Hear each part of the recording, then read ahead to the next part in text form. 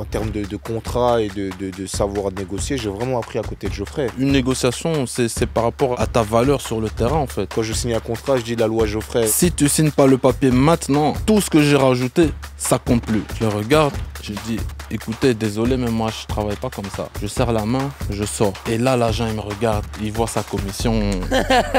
Là, en Turquie, c'est des fanatiques. Donc ça veut dire que quand tu viens dans leur club, ils t'adoptent totalement, tu vois. Les stades, les supporters, même les joueurs contre qui tu joues. C'est limite Ligue des Champions. Tu peux pas prendre un joueur selon. c'est- On n'est pas des ordinateurs. Par exemple, quand je regarde euh, la RAL, ils ont tout fait sur data. Et là, ils sont quatrième, ça change rien.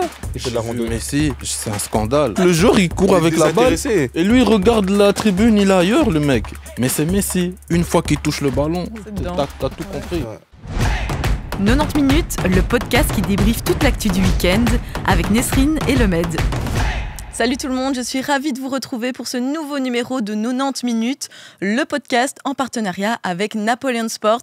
Aujourd'hui à mes côtés, deux joueurs expérimentés, deux joueurs qui ont connu la D1 euh, pro, qui jouent aujourd'hui en division 1 amateur et qui ont aussi une expérience en international. À mes côtés, Yannick Loemba, bonjour. Bonjour. Et euh, également Geoffrey Moujanguibia. Bonjour. Alors, petite euh, courte présentation. Yannick, tu joues actuellement au RFC Liège. Tu as évolué dans des clubs comme Ostende, comme l'OHL. Tu as également découvert le championnat turc. Et puis, euh, Geoffrey, toi, tu as connu le Standard, tu as connu Charleroi, des clubs anglais. Et tu as également euh, eu quelques titularisations en tant que euh, Diable Rouge. En fait, tu as joué euh, sous les couleurs euh, des Diables. Alors, euh, je vais aussi présenter celui qui m'accompagne chaque semaine, le Med. C'est mon, euh, mon, mon binôme, on va dire ça comme ça. Exactement, ça en fait des épisodes maintenant. Ça en fait des épisodes, c'est le sixième hein, aujourd'hui. Donc, euh, bon, comment vous allez? Moi, ça va. Euh, très bien. Merci. Et merci de m'avoir invité. Très gentil. Et toi, comment tu vas? Moi aussi, ça va très bien, merci. Toujours, et toi-même Moi, moi, je vais très bien aussi. Donc, euh, je suis ravie de vous retrouver. En plus, aujourd'hui, on va vraiment parler de, de vous, de vos parcours, de, de la saison écoulée, euh, du futur. Ouais. Donc, euh, ça va être hyper intéressant. Alors, aujourd'hui, ce qui est intéressant, c'est que cette saison, vous avez évolué au sein du même championnat. Ouais. Dans deux clubs différents, l'un topper, l'autre lanterne, rou- lanterne rouge. Euh, on va commencer euh, par, euh, par toi, Yannick. hein. C'est moi le Bah top. oui, hein, voilà. Donc FC Liège, voilà. Comment ça s'est passé cette saison pour toi? Bah écoute, une très bonne saison. Euh, 86 points sur 114 possibles. Deux défaites dans- sur 38 matchs. On peut dire que c'est une très bonne saison.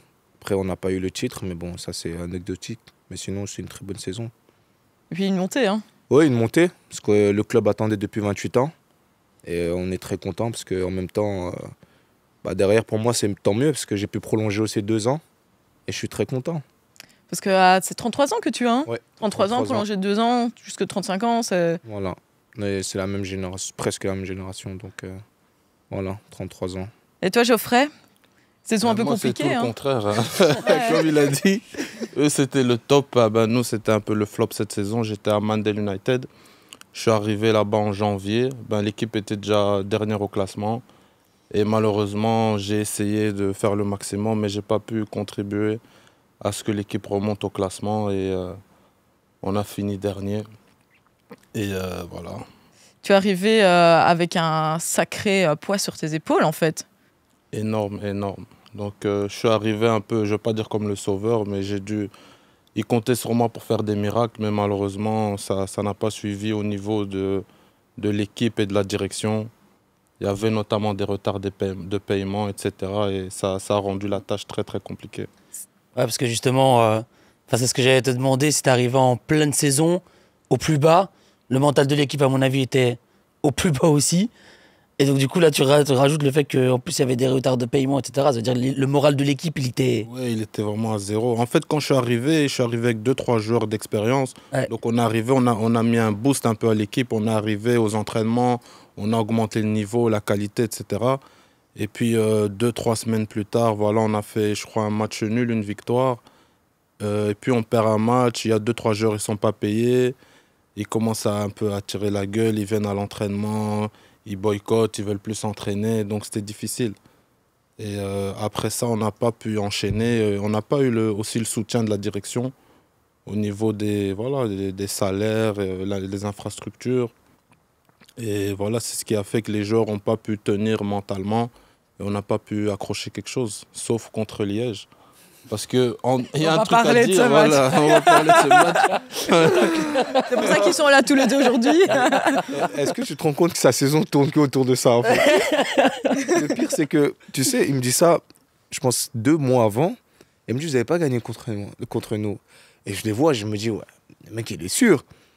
Je vois la semaine d'après, défaite, défaite, défaite, défaite. Mais je me dis, au lieu de se concentrer sur nous, regardez d'abord, regardez déjà vos adversaires. Il me dit, ouais, le, week-end arrive. Je dis, bah, il n'y a pas trop. Bah, essayez de les gagner eux, après, ça va nous mettre bien. Je vois après 5 minutes, défaite. Ah, je dis, ouais. Et nous, on arrive là-bas avec. Tu vois, il y a des matchs où il suffit pas, c'est là aussi, c'est l'humilité, il suffit pas d'apparaître juste. Tu as des mecs en face, ils ont faim, ils ont envie de se montrer aussi. Quand tu joues contre le top, tu as envie de te montrer, tu cherches un transfert, entre guillemets. Ils ont joué un match. Je pense que c'est le meilleur match de leur saison. Ils ont, ils ont préparé ce match pendant toute la saison, c'est ça? Non, en, fait, ouais, en fait, on a chez nous dans le staff, il y a le, le T2. Lui, il avait déjà analysé Liège. Il avait déjà analysé, il avait dit contre Liège, on perd pas. Et la semaine là, Yannick et moi, on s'est vu 3-4 fois. Donc on s'est vu peut-être de lundi à jeudi, on s'est vu tous les jours. Ouais. Et je lui ai dit, il est venu à la maison et il commençait à me taquiner. J'ai dit, frère, contre nous, vous n'allez pas gagner. Je dis pas qu'on va gagner, mais ce qui est sûr, on va pas perdre ce match. Il me disait, mais qu'est-ce que vous allez faire? Vous êtes nuls, on va marquer vite, etc. etc. J'ai dit, frère, moi, ce match, c'est personnel. je suis rentré dans le vestiaire, j'ai dit, les gars, ce match-ci, tous les autres matchs, voilà, on a perdu, il s'est passé des trucs, mais ce match-là, non, on peut pas perdre. T'as fait un travail mental sur Yannick. Il tu a- l'as capté tous les jours. tu as fait, tu vas perdre, tu vas perdre. Mais le, le truc, c'est que c'est. Malheureusement, on perd le titre là, tu vois. Ouais. Euh, on a les mêmes points ex avec le premier, mais le championnat, tu sais, les Belges, ils ont toujours une manière de faire différente. Vous avez fini avec les mêmes points. C'est, ils sont, euh, parce qu'ils comptent même pas le goal average, ils ont compté le nombre de victoires. Un nombre de Ils ont une victoire en plus. Donc ils ont un truc ça j'avais j'avais jamais vu. Normalement on compte les, les goals, un- une victoire en plus. Donc euh, c'est comme ça que bah, si tu gagnais à Mandel, tu avais 3 points en plus. Sur le goal average, t'étais au-dessus? Enfin, ouais, on a, au-dessus? on en a 99 buts Ah, marqués. Ils en avaient quoi 80 marqués? Mhm. Et euh, on a marqué 99 buts, euh, meilleure attaque, deuxième meilleure défense. On a fait une saison complète. Mais là, après, on va à Mandel. Franchement, quand tu arrives à Mandel, les mecs, ils ont faim. Et nous, on arrive euh, un peu trop beau, tu vois. Ouais. En mode, on va gagner d'office Ouais, on va on, est sûr de nous. Mais ils n'ont rien gagné jusque-là. pour te dire, on fait même pas de théorie pour te dire qu'il n'y avait rien à faire. Tu vois, on, on s'est dit, on va venir. Mais le coach, il nous avait prévenu. Ne croyez pas que vous allez venir. Mais leur synthétique aussi, il est bizarre. Laisse tomber. Après, moi, je pense surtout au-delà de ça, je pense que c'est vraiment une leçon de vie aussi Ouais. pour les joueurs de Liège. Ouais. Parce que j'étais sur le terrain et euh, pour moi, personnellement, il y a trois joueurs que je connais, que je respecte, dont Yannick, euh, Jérémy Perbet et Lambeau. C'est les seuls joueurs qui avaient de l'humilité sur le terrain. Tous les autres joueurs, ils avaient un peu la, la grosse tête et ils nous ont pris de haut. Ce sont des jours d'expérience. Ce sont des joueurs d'expérience, mais tous les autres joueurs, je suis désolé, ils n'ont pas fait de carrière. Et sur le terrain, ils avaient des attitudes et je leur ai dit, les gars, je suis désolé, mais vous n'avez rien fait. Vous faites que parler parce qu'il y a un joueur de Mandel qui reste par terre et vous dites pourquoi tu fais ça, vous êtes dernier. Mais non, si tu es deuxième, tu es soi-disant plus fort, quand le ballon est en jeu, tu qu'à marquer un goal, fais la différence. C'est tout. Et, les- et en fait, le jeu- la leçon qu'il y a eu là de vie, c'est que dans, dans le foot, il n'y a aucun match qui est gagné à l'avance. Ouais. Et tu peux jamais sous-estimer ton adversaire comme ça. Tu dois toujours avoir un minimum de respect pour du coup- l'adversaire. Du coup, cette victoire, elle a fait du bien pour le mental de votre Il équipe. n'y a pas gagné, il y a pas de victoire, attention. Il y a match victoire. nul. Un match nul. C'est une défaite. Bah, c'est une victoire pour eux. Oui, pour nous, c'était une défaite parce qu'on l'a pris comme une défaite. Et tu sais, quand on parle de ce match, on, parle, on le compte comme une défaite, nous. Ouais, ouais, Tu vois, mais ce qu'il a dit ouais. est totalement, est totalement vrai, tu vois. Ouais. Et on nous avait prévenus. Après, euh, sans te mentir, quand bah, les mecs en face, il n'y avait pas de mauvais joueurs. Geoffrey, il a, il a tiré son équipe. Euh, tu sentais déjà qu'il y en a qui avaient un peu peur d'aller sur lui. Et il a Parce il- qu'il ramassait des crochets, des la vérité. C'est la vérité. ils avaient- ils avaient- ils avaient- ils avaient- Ouais. Après, on connaît Geoffrey, tu vois. Et et moi, je leur ai dit, le plus important, c'est pas de le laisser. Il faut pas le laisser frapper. Parce qu'on sait que s'il frappe, il a une bonne frappe. Donc, après, il jouait relâché. Nous, on jouait un peu crispé. Parce que, tu sais, quand t'as plus à jouer, ils avaient plus rien à perdre. Donc, y a rien- c'est- ils ont plus rien à perdre. Donc, euh, nous, on a joué un peu crispé, un peu comme ci, comme ça. Mais après, attention, on a raté beaucoup d'occasions. On a deux poteaux, deux par trans. c'était un match comme ça. Il y a des jours, il y a des jours sans et c'était un jour sans. Mais pour revenir, franchement, comme j'ai dit, et il y a des joueurs, par exemple, regarde le- si tu regardes son CV, tu l'as, tu l'as vu, il a il hein. l'humilité de- d'aller dans une équipe comme ça. Et, ça, c'est ça que je disais aux, aux gens, c'est que ah, elle me dit ouais, mais, elle me dit mais regardez sa carrière et regardez où il va jouer, Mhm. parce que le football, il n'y a pas de secret. Si t'es bon, t'es bon. On va te voir partout. Il y a, il y a des mecs, ils ont peur de descendre ou d'aller quelque part parce qu'ils ont dit quoi ah, Après, je suis cramé, je suis fini. Ouais. Alors que non. Il arrive à Mondel, c'est vrai qu'on lui a donné des responsabilités, mais au début de saison, dès qu'il est arrivé, les trois premiers matchs, il marque. Après, il y a, il y a- il y a beaucoup de matchs, tu ne peux pas faire de miracle. Même euh, Cristiano Ronaldo, dans une équipe où il n'y a pas de joueurs, ne peut rien faire, qui que tu sois. Regardez, Messi, on l'a ramené à Paris, il ne peut rien faire tout seul. Non, on joue pas seul. hein. C'est Non, un sport d'équipe. c'est Voilà, ouais, vraiment un sport d'équipe. Et je pense qu'il n'a pas vraiment été aidé. Mhm. je pense qu'il mérite mieux quand même que, avec tout le respect que j'ai pour Mondel, mais il méritait quand même mieux. C'était compliqué pour toi, à Mandel?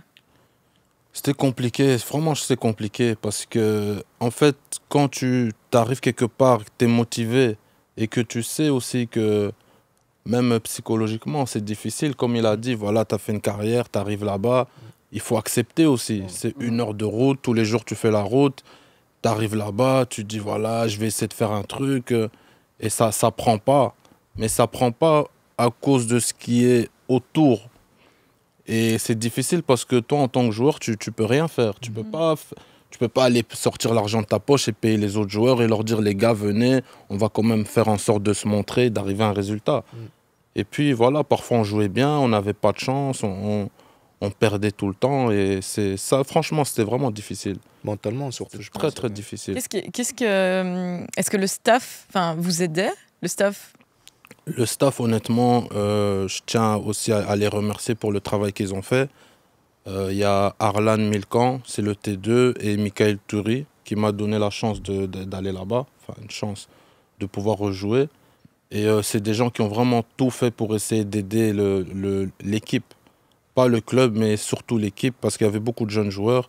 Et ils ont toujours été présents aux entraînements, ils ont essayé de, de, de pousser pour que la direction paye les joueurs. Ils ont essayé de faire en sorte qu'il y ait un semblant de professionnalisme.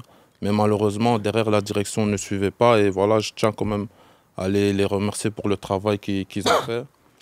Mais euh, ouais, c'est- c'était compliqué. Et quand un joueur euh, n'est pas payé, enfin, il continue à jouer. En fait, c'est c'est ça qui. Moi, j'ai connu ça en Turquie, mais en Turquie, c'est pas pareil parce que Tu arrives là-bas, c'est c'est des gros salaires, donc on te donne une somme qui te permet de, tu- de tenir euh, pen- pendant l'année.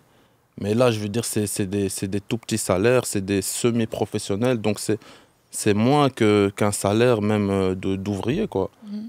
Et quand tu as des salaires entre 700 et 1000 euros et que tu n'es pas payé, et il y en a qui venaient de France, qui habitent là, je veux dire, c'est c'est difficile.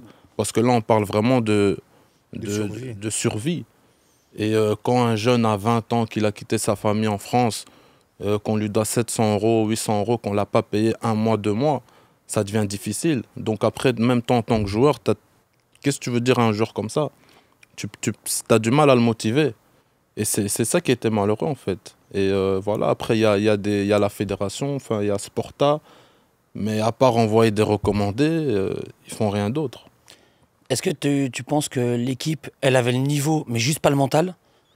Ou qu'il y avait vraiment une différence de niveau entre les autres équipes? Et en plus, le mental, du coup, ça fait que c'était out, quoi. je pense que l'équipe avait, avait assez de qualité, en tout cas pour se maintenir. Je ne veux pas dire qu'on avait assez de qualité pour jouer le top, mais pour jouer le maintien, on avait assez de qualité. Après, mentalement, voilà, l'équipe a fait le maximum jusqu'au mois de janvier. Mais après, comme j'ai dit, quand il y a des problèmes aussi importants, parce que là, comme il a dit, on parle de survie. Quand un joueur, euh, il, il est en, en mode, il doit se débrouiller pour savoir quoi manger ou dormir, et qu'après il doit jouer un match et qu'il perd chaque semaine, mentalement, sur la durée, c'est difficile. Et euh, ils ont pu tenir jusqu'à février, mais après, quand on est arrivé au mois de mars, avril, etc., ça devenait plus compliqué et là, tout le monde a lâché. et toi, du coup, euh, c'est l'inverse, tout s'est super bien passé. Ouais, moi, c'est. c'est T'es arrivé totalement- l'été dernier. hein. Ouais, je suis arrivé l'été dernier. euh, et franchement, l'équipe, après, ils surfaient sur la vague de l'année dernière. Ils ont raté la montée de, la dernière journée. Donc, euh, ouais, je suis arrivé, l'équipe elle tournait bien, ils sont sur une vague de, victoires tout le temps. Et nous, cette année, comme je te dis, c'est pratiquement que des victoires. Après, c'est différent, on était payé à temps à l'heure, on n'avait pas les mêmes problèmes. Donc, quand le, ventre est plein, on ne peut pas se plaindre. Donc, euh, on était, franchement, on était bien dans la saison. Et puis, on a un club structuré, euh, avec des supporters énormes. Vraiment des supporters énormes. Et l'ambiance, elle est, elle est top à Liège. Donc, euh, on, est- on était bien, on est bien à Liège. Donc, euh, c'est contre- c'est complètement différent de, de sa situation à lui. Moi, je me pose la question euh, comment vous avez décidé, enfin, comment vous êtes arrivé dans vos deux clubs respectifs? Bah écoute, moi j'étais en Détroit amateur à Mons. Et euh, franchement, je te mens pas, je me rappelle que quand j'ai dit à Geoffrey, il m'a dit Putain, tu déconnes quand même, tu vois. Il me dit c'est trop bas et tout. Tu- Et pourquoi tu avais été joué en Détroit amateur? Bon écoute, T'avais- Tu voulais faire une on a, pause on a- on fait quoi? Non, on a fait, on a fait trop d'entraînement à la roue. Ok. Je me rappelle avec Geoffrey, on était trop à la roue. À un moment donné, j'étais fatigué, on s'entraînait. Mais c'est ça que je dis, par exemple, bah, t'as Geoffrey, t'as as, d'autres, hein, Julien. euh, on avait entraînement tous les matins. On C'était était- pendant le Corona, en fait, quand il y avait l'année euh, sans jouer, Ouais. saison 2020-2021. Ah ben, nous et un groupe d'amis euh, joueurs, on allait s'entraîner tous les matins au BX Brussels. Et, et là, il y avait une bonne structure, mais on était entre nous, on se prenait vraiment en main. On arrivait, des fois c'est Geoffrey qui donnait l'entraînement, des fois c'est Hervé, mais des entraînements vraiment euh, structurés. À un moment donné, tous les jours, euh, et je voyais les mecs, ils avaient toujours ce- cette envie. Moi, quand il n'y a pas d'objectif réellement en vue, Il n'y a pas de match, quand il n'y a pas de. il y a- non, il n'y a rien, mais je me dis, vas-y, autant je reste à la maison, tu vois. Et quand je les voyais, ils me disaient, il faut toujours être prêt, ça va venir, ça va venir. Après, je dis, ouais, ça va venir, ça va venir, ça fait un an, on est là en galère, comme ça va venir quand? Après, j'ai dit, j'arrête ça, je suis resté chez moi à la maison. Et continuez, eux, tu vois? Puis à un moment donné, je dis, quoi, tu sais quoi, je veux trouver un club, Ah, je veux jouer, après on verra, tu vois? Puis là, je, suis arrivé à Liège. Et franchement, c'est- vraiment, quelque part, tu te dis, heureusement que tu as des gens comme ça. Parce qu'ils te motivent dans le bon sens de. Le matin, on avait entraînement à 10h, les gens étaient là à 9h30. Mais je dis, mais même en club, des fois, t'arrives pas tu vois, on était trop. On était programmé à, à vouloir ça. Et Il y avait une véritable envie, une Voilà, il y a- motivation. et...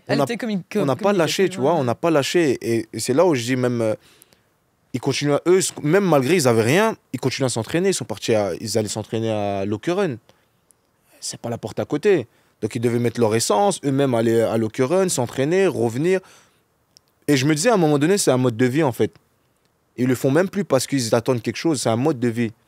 Et franchement, c'est pour ça que je dis des fois, euh, on est passé par des moments où les gens ils voient souvent que la fin, mais c'est incroyable de de- d'où on vient ces trois dernières années, parce qu'avec le Covid, avec on était sans club, puis nous on est revenu de Turquie. Hein. On est revenu, après quand on est revenu de Turquie, c'est- Mais ça, on va, en- on va en reparler aussi. Ouais. Mais euh, Mais après, ici, sur le, le parcours de Yannick, ce qui est important, c'est que Yannick, il a joué majoritairement en, en D1B. Il a aussi eu euh, une expérience en D1A.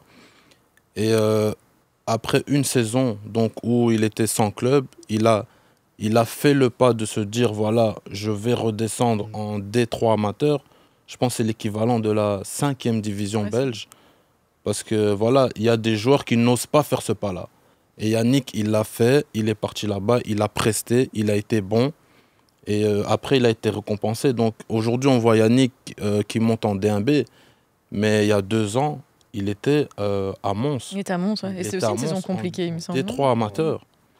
Et derrière, il arrive à faire ses matchs, à jouer, à rebondir à, à Liège et, et d'être un des, des hommes clés de, de cette montée. Donc c'est vraiment pour dire que quand tu as la qualité, parfois, il ne faut pas avoir peur de, de, de faire un pas en arrière. Ouais. Parce que le plus important dans le football, c'est de jouer. Ouais. C'est qu'on te voit à l'œuvre. C'est pas simplement de dire j'ai le niveau pour jouer là, donc je vais pas aller plus bas.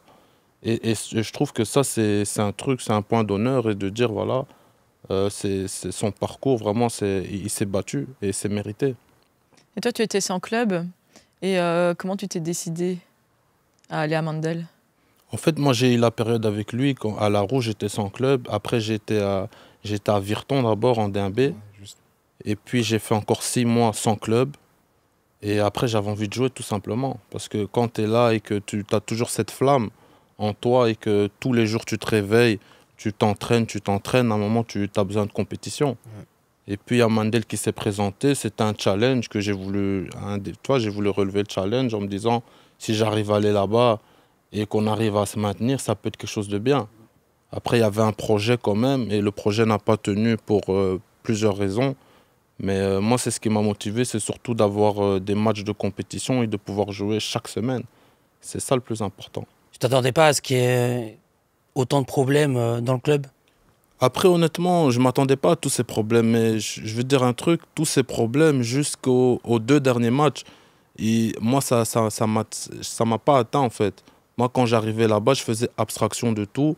J'ai même pas réclamé mes salaires. Pas parce que j'ai pas besoin d'argent, mais tout simplement parce que quand je suis arrivé là, j'étais tellement euh, focus sur mon objectif de, de jouer 90 minutes chaque semaine et de, et de prendre du plaisir.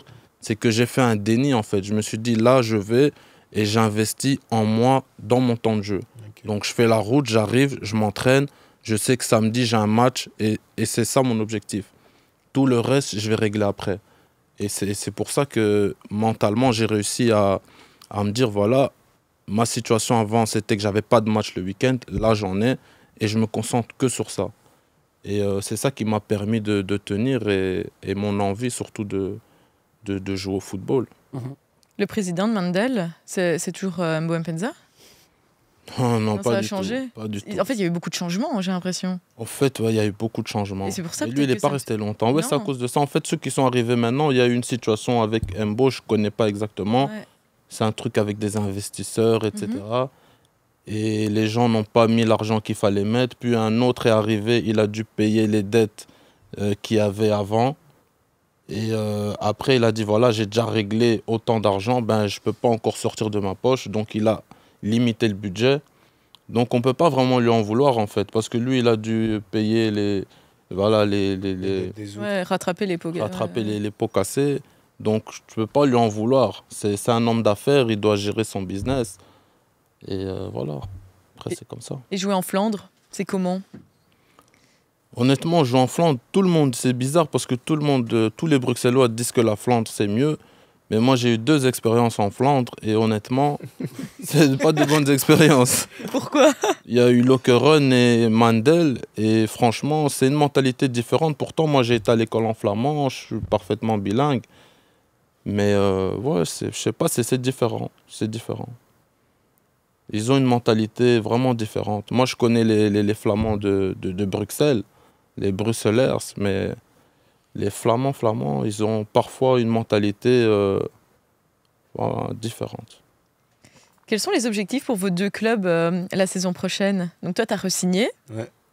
Donc euh, il va falloir s'imposer dans, dans cette nouvelle division. Ah ouais, il faudra, faudra s'imposer, mais je pense qu'il y a de quoi. hein. Après, euh, l'objectif euh, pour nous, c'est déjà de, de le maintien. Ouais. C'est le maintien. Après, euh, essayer de grappiller. Moi, je pense que déjà commencer par le maintien, ce serait déjà bien. Et je pense que le club veut s'installer euh, sur une durée dans, dans, dans la Pro League. Maintenant, euh, si tu me demandes mes objectifs personnels, ils sont toujours plus hauts. Donc, euh, Quels sont-ils bah, on, on espère monter encore. hein. Pourquoi pas C'est pas impossible. hein. Football, il n'y a rien d'impossible. On l'a vu avec l'Union notamment. Voilà, on l'a vu avec l'Union. Et c'est exactement ce que je disais au président hier. Disait, L'Union, ils ont surfé sur deux, deux saisons. Et ils ont été presque champions. Après, à Bruges l'année dernière, je suis désolé, mais ils doivent être champions. Après, il y a manqué d'expérience. Mais voilà, c'est pas impossible. Et euh, après, on- là, on- je vois qu'on fait des recrutements, très, très, des très bons recrutements. Et bah, écoute, j'espère qu'on qu'on va se maintenir déjà pour commencer. Ce serait déjà bien parce que la division, elle est, elle est pas facile. Surtout avec les jeunes. Ouais, votre noyau, euh, s'il y a beaucoup de, de, de recrutement, vous allez avoir plein de nouveaux joueurs, il va falloir réinstaller. Et là, pour le moment, vous êtes dans un good mood avec Ouais. tout le monde qui se connaît. Ouais, ouais, voilà. Après, c'est le football, il y en a qui viennent, il y en a qui partent, donc il faut s'habituer, mais je pense que c'est dans un premier temps, c'est ça. C'est vraiment le, le maintien, après la suite, euh, c'est du bonus. Et toi, la saison prochaine, donc Mandel euh, descend. Moi, la saison prochaine, honnêtement, j'ai envie de jouer le, le plus haut possible. Donc, euh, j'espère au minimum en D1 national. Et euh, pour l'instant, bon, j'ai mon agent qui s'occupe de ça. Et euh, j'ai encore rien de concret, donc euh, on va voir. Mais je compte encore jouer quelques années. Vous avez tous les deux des agents? Je rebondis là-dessus, mais. euh, Euh, Parce que dans votre division, vu qu'il y a des contrats semi-pro, etc., tout le monde n'a pas un agent. Non, moi, je... non, on n'a pas vraiment d'agent. On va dire euh, on a des, des frères mais qui connaissent un peu mieux, mais agent spécifiquement comme ça, non, pas, pas spécialement. Mais après, comme je dis toujours, euh, moi, je- en termes de, de contrat et de, de, de savoir négocier, j'ai vraiment appris à côté de Geoffrey. Parce que, C'est lui ton agent. Ouais, mais c'est c'est plus un agent, mais un ami dans le sens que ah, il- connaît les, les pas faciles en négociation et en plus de ça, c'est quoi? C'est c'est que c'est un garçon qui est, qui est très lucide dans, dans, dans ce que tu peux demander. C'est pour ça que je dis toujours, quand je signe un contrat, je dis la loi Geoffrey, la loi BIA parce que c'est toujours un pourcentage en plus que le groupe. Donc ça veut dire si par exemple tout le monde touche 1000 euros, bah, je vais toucher 1100 1025 euros par exemple, juste le 25 euros en plus. Comme ça, je me dis, ouais, c'est bon, j'ai la loi Geoffrey, c'est bon. Et donc voilà, mais sinon, N'importe quoi. j'ai la loi Geoffrey, sinon c'est bon. pas ça, pas ça du tout. Vas-y, Il faut mériter, il faut mériter. Après, voilà, cette année, il a été bon, il, il- il le mérite, il mérite d'être parmi les, les joueurs bon, les, les mieux payés de son équipe, c'est c'est logique. Mais cette loi, je ne la connais pas moi-même. C'est la loi Geoffrey. Donc euh, voilà. Voilà, on découvre quelque chose. Non, mais quand il dit, il dit il la connaît pas, mais partout où il est passé, il était toujours le meilleur salaire. Ouais. Donc euh, je-. Tu négocies comment, Geoffrey? C'est ça, faut lui demander. Non, en fait, euh, une négociation, c'est c'est par rapport à, à ce que tu. à ta valeur sur le terrain, en fait. C'est ça. C'est bon, on va mettre le cas de Bruyne. Là, il a fait avec les data, la data, etc. Mais le truc, c'est que. À un moment donné, un joueur, il doit connaître sa valeur. Donc parfois, tu dois se voilà, qu'est-ce que j'apporte à l'équipe? Et c'est ça que tu dois essayer de, de- de monétiser un maximum. Exactement. Et euh, voilà, comme je dis ici, il a la chance de, de faire partie des, des joueurs clés de l'équipe. Donc forcément, le, le contrat doit être, euh, ça doit être en, en adéquation avec ce qu'il rapporte sur le terrain. Et euh, parfois, il y a des joueurs qui sont utilisés et qui sont sous-payés par rapport à, à leur rapport euh, sur le terrain. Et c'est juste ça, en fait. C'est d'avoir la, la- la capacité de dire, voilà, je rapporte ça, je peux demander ça. C'est tout, en fait. Il y a déjà une négociation qui s'est mal passée? Pas mal passé, mais j'ai eu une négociation qui était vraiment limite, limite. C'était en Turquie. Ah ouais? C'était parti en menace, etc. Ah ouais? Ouais, ouais. Ah ouais, donc ça s'est mal passé quand même. Non, Oui, quand parce qu'au final, non. Parce que menace. Euh, positif, en fait. Non, parce qu'après, j'ai signé mon contrat, en fait. Après, j'ai signé. Parce qu'en fait, euh, on est arrivé et ils m'ont proposé un, un contrat. Ils m'ont dit, ouais, voilà, c'est ça, on peut pas donner plus, euh, c'est déjà correct. Et je regarde et tout, je dis, ouais, c'est pas mal et tout, ouais, mais c'est pas assez pour moi. Comment c'est pas assez? Ouais, c'est pas assez. euh, parce que déjà, d'où je viens, j'avais plus que ça. Et euh, là, c'est quand même en Turquie, je veux venir ici, c'est un sacrifice. Et euh, entre guillemets, il y avait un attentat dix mois avant là-bas. Donc j'ai dit, il y a un risque et tout.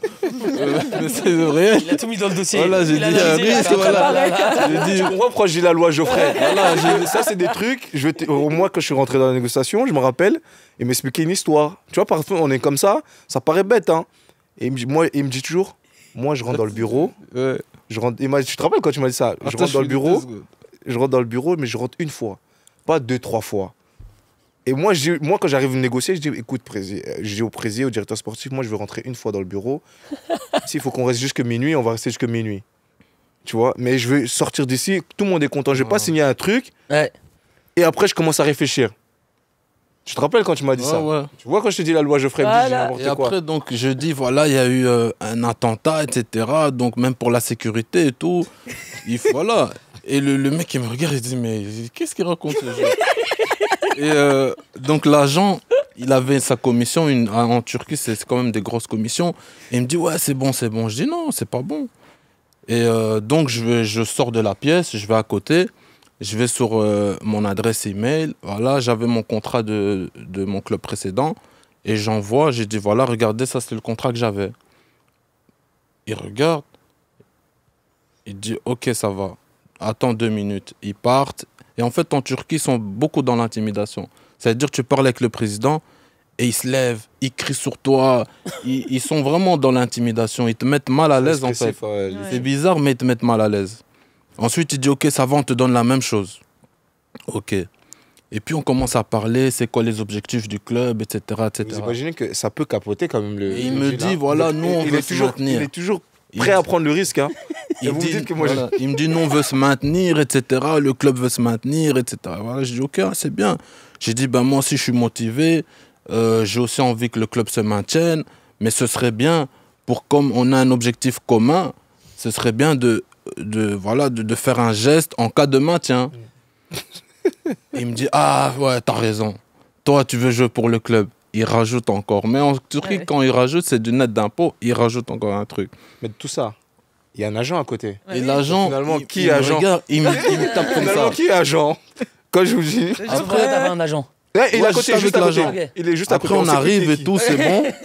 C'est bon, c'est réglé et tout. Et puis, il me dit, OK, ça va, signe les papiers.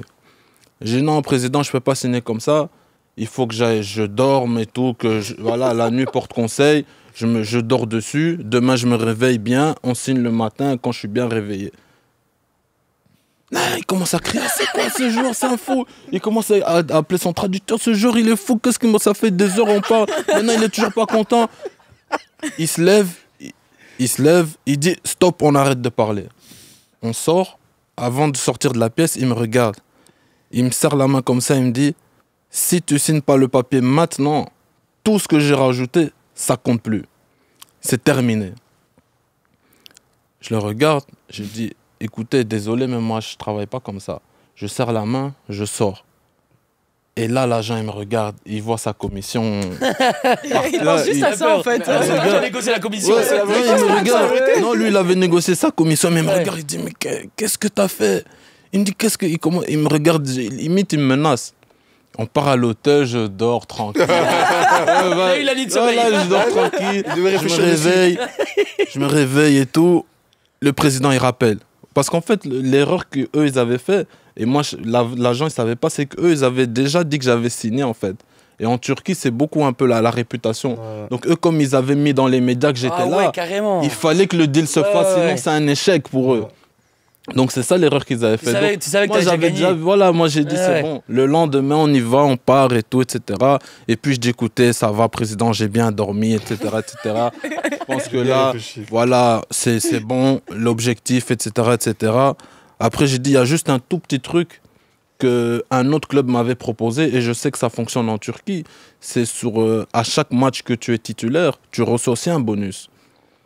Et puis j'ai dit, voilà, en plus comme vous êtes un club qui maintenant, il essaie d'être ambitieux, il faut savoir que les autres clubs le proposent et ce serait bien aussi de le proposer. Ce qui n'existait pas encore dans le club. Il me regarde, Ah ouais, ouais, c'est- ok. Non, mais il faut que vous il suivez. appelle, euh, Ouais, il la loi- appelle un autre, il appelle un gars, il lui dit la loi, qu'est-ce la qu'il loi, raconte, la lui loi Geoffrey. Il dit qu'est-ce qu'il raconte lui Ah, Il regarde, il se renseigne et tout parce que j'ai dit t'as envie de passer un cap, c'est ça passe avec tout dans la gestion. et puis il me dit ok ouais ouais c'est bon c'est bon, il signe le document et puis voilà on rajoute encore les primes de titularisation donc on rajoute encore un truc. Je signe le document, je pars, il me regarde comme ça, il me dit toi et puis il met un coup de tête. il met un coup de tête. Après voilà on se serre la main, on se, prend dans les bras et on fait la photo. Franchement incroyable. Et- Toutes les heures passées avec toi, c'est des commissions en plus. Genre. Ouais, mais je t'avais pas dit. Ah. Mais Vous comprenez pourquoi je vous dis la loi Geoffrey maintenant Ouais, mais surtout, à quoi sert l'argent en ce moment-là? C'est dingue. Ça, c'est après- une question. Après, il y a des agents aussi indépendants. Parce qu'il faut dire que là, c'est un agent qui m'a juste amené le Ouais. deal. Ok. C'était pas mon agent. Donc, lui, il est arrivé, le club l'a mandaté. Lui, il est venu juste euh, pour. euh, Ouais, chercher des joueurs, voilà, donner le deal. Et puis, il euh, arrive là, il fait son deal. C'était pas mon agent, en fait. mhm. C'est vraiment euh, la signature qui t'a marqué. C'est celle-là? Ouais, ça m'a marqué parce que ça a pris énormément de temps. Combien de temps Ça a pris. euh, C'était en deux épisodes. hein. Il y a eu la première fois, et puis. euh, donc, ça a duré dix jours. 10 jours. Et pendant 10 jours, Et quand quand t'es face au président, c'est combien d'heures? Hein. Ça peut durer 2-3 heures. Après, il te dit sors.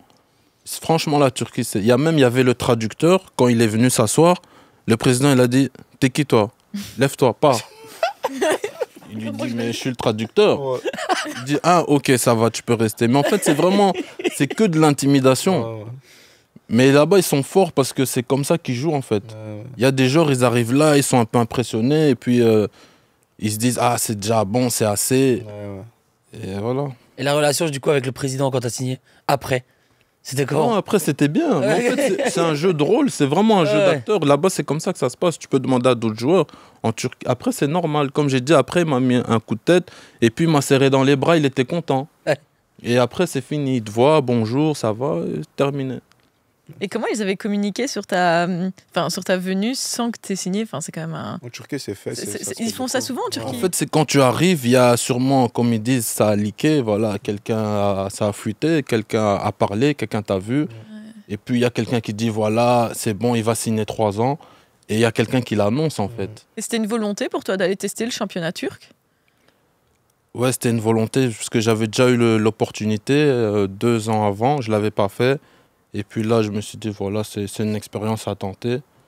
Et aussi, voilà, financièrement, c'était intéressant, donc euh, j'ai j'ai tenté l'aventure. Et toi, tu as une, une anecdote comme ça sur une signature euh, Non, moi, franchement, ah, j'en ai, j'en ai une. Ah, je me rappelle à Ostende, euh, quand j'arrive avec mes agents. À cette époque-là, on avait des agents, même s'ils ne servaient à rien. Euh, on est arrivé et euh, c'est là où j'ai. bah, lui, il, était- il connaissait déjà. Et moi, on me met un papier, on me dit Ouais, combien tu veux? Mais tu vois, c'est pour ça qu'il est important de, de se renseigner sur le club, sur ce que le club a, ce que le club peut. Et nous, on le fait très peu. C'est pour ça que je dis aux jeunes aujourd'hui, il faut se renseigner sur. euh, Quand tu dis de nous, c'est les joueurs en général oui, c'est les joueurs en général, tu vois. Avant d'aller signer quelque part, bah ça, je disais que lui, il a une recherche du club Mhm. que nous, on fait pas.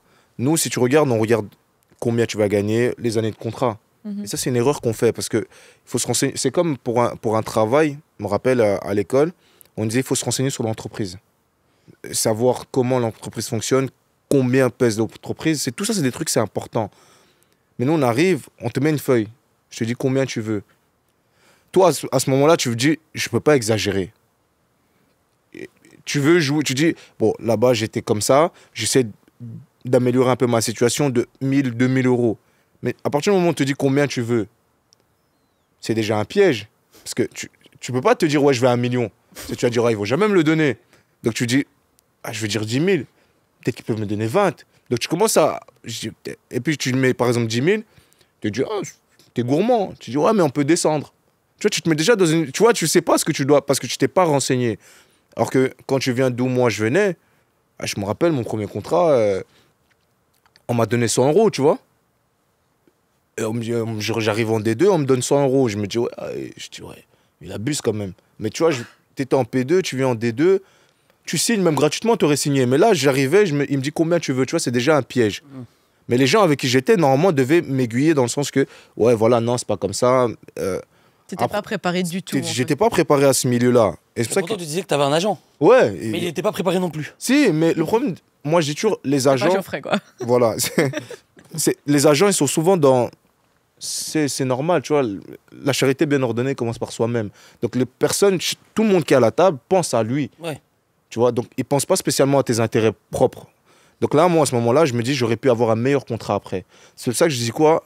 Le- La loi Geoffrey, comment ça je viens C'est rentrer dans le bureau. Des fois, on signe un truc, et puis tu rentres chez toi, tu commences à dire, Putain, j'aurais dû peut-être demander ça. Ça, c'est la pire sensation. Tu vois, tu as, la sensation de. Et puis quand tu arrives derrière, moi, tu avais des joueurs qui avaient un nom. Euh, je me rappelle, euh, Cyriac euh, Goibi, il arrive, il prenait un million quelque chose. Alors je me dis, ouais. Mais tu vois, ça, c'est- un sentiment humain. Ouais. Toi, tu viens après, tu prends 2 millions. Tu vois, je vois Proto, il arrive après, il prend. Mhm. Les, gens, les mecs, ils parlent en millions. Et peut-être tu te dis, putain, mais je, même, je- Et Toi, t'as- t'as mis quoi sur la feuille?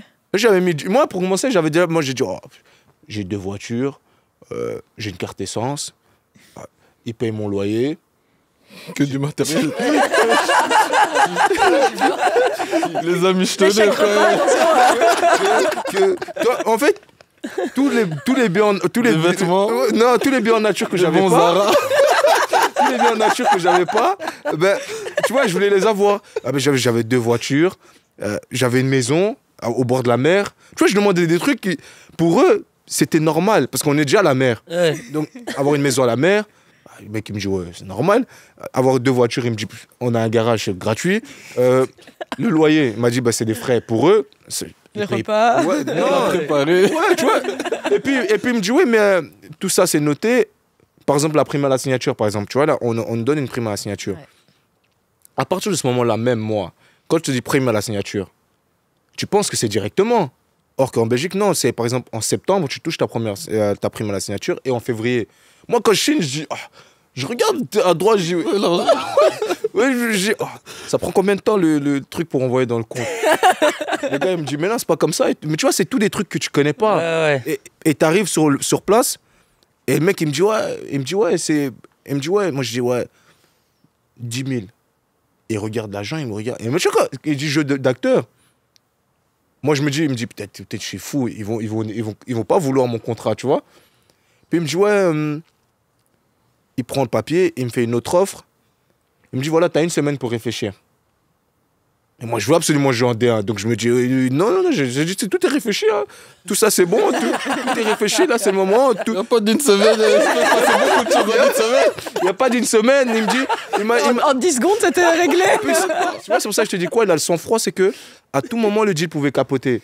Mais il dit quoi Le gars, il me dit, t'as une semaine pour réfléchir, t'es notre priorité, mais on a un autre rendez-vous oui, demain. c'est- la négo, ouais. Ouais, tu vois, mais on a... ah, je dis non, non, non, celui de demain, il va pas venir ici prendre ma place. Ouais. Je vais signer aujourd'hui. Mm. Et moi, sur le moment même, il me dit, c'est maintenant. Ah Oui, oui, c'est maintenant. Et je signe. Mais après, quand tu arrives, tu as des regrets. Et c'est pas bon parce que tu commences à réfléchir. Tu, tu dis, ouais, peut-être j'aurais dû demander ça, peut-être. Et c'est pas bon. C'est pour ça que je dis, avec l'expérience, quand Geoffrey m'a parlé, et parce qu'il n'a pas raconté la- la- comment il m'a expliqué, parce que c'était au standard quand il a fait ça. Et il a, il a été prendre des risques. Mais là, quand je suis rentré, j'étais serein dans le bureau, par exemple, là, maintenant. Maintenant, à 33 ans, je suis rentré. Alors, dis-moi, il me faut ça, ça, ça. S'il n'y a pas, je vous souhaite une bonne continuation, on se souhaite une bonne continuation, on se fait un câlin. Au revoir. Après, ce qui est important de souligner, c'est que là, tu dis ça parce que tu as presté. Et quand tu arrives au stand, tu viens du niveau amateur, enfin amateur semi-pro, et, et tu te dis, là, je peux découvrir le monde pro, donc tu, tu peux réaliser un rêve. Et, et là, tu, le plus important, c'est pas forcément l'argent à cet âge-là. Oui, C'est vraiment en de- c'est la 2015, découverte. quelque chose comme ça, Ouais, ouais. 2015. Voilà. ouais, ouais. Et les joueurs de, dont tu, les noms que tu as cités, Syriac, Proto, tu ne pouvais pas te comparer à ces joueurs-là à ce moment-là parce qu'ils avaient du vécu.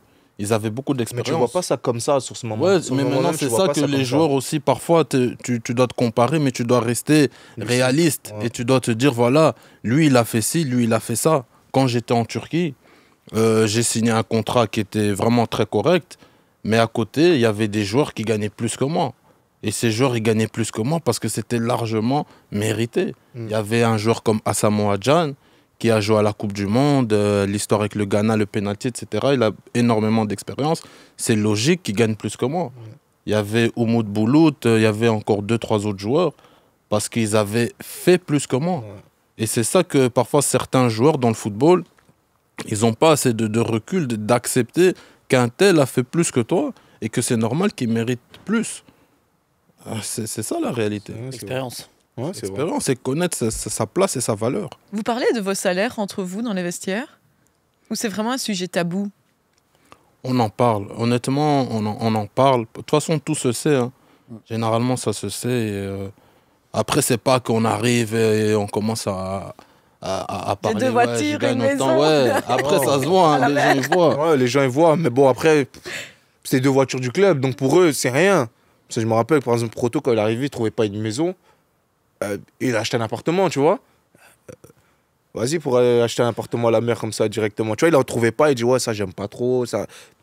Moi la maison m'ont donné, C'était nickel c'est bon. Complique pas, on rentre, on dort, on est bien, tu vois. On- tu vois, on on n'était pas dans la.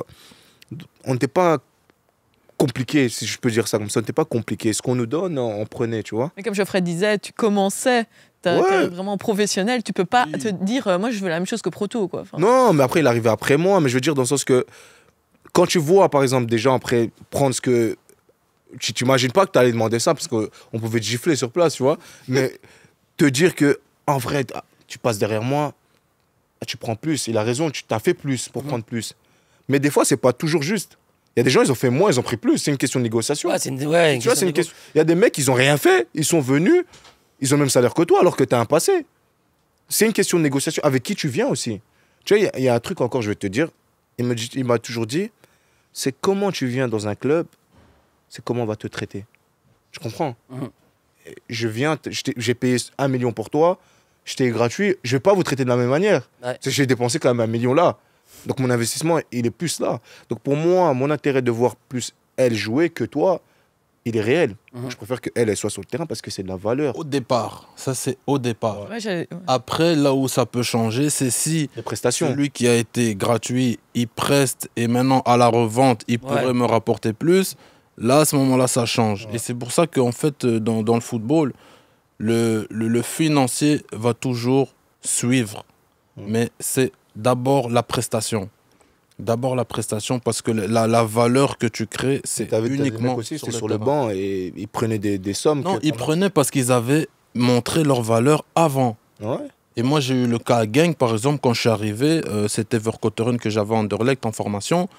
Et moi, je venais d'Angleterre, je voulais venir en prêt. D'ailleurs, euh, un- je ne veux pas dire c'est un regret, mais c'est l'année où Gang finit champion en 2011. Mm. Et euh, en janvier, j'étais dans le bureau.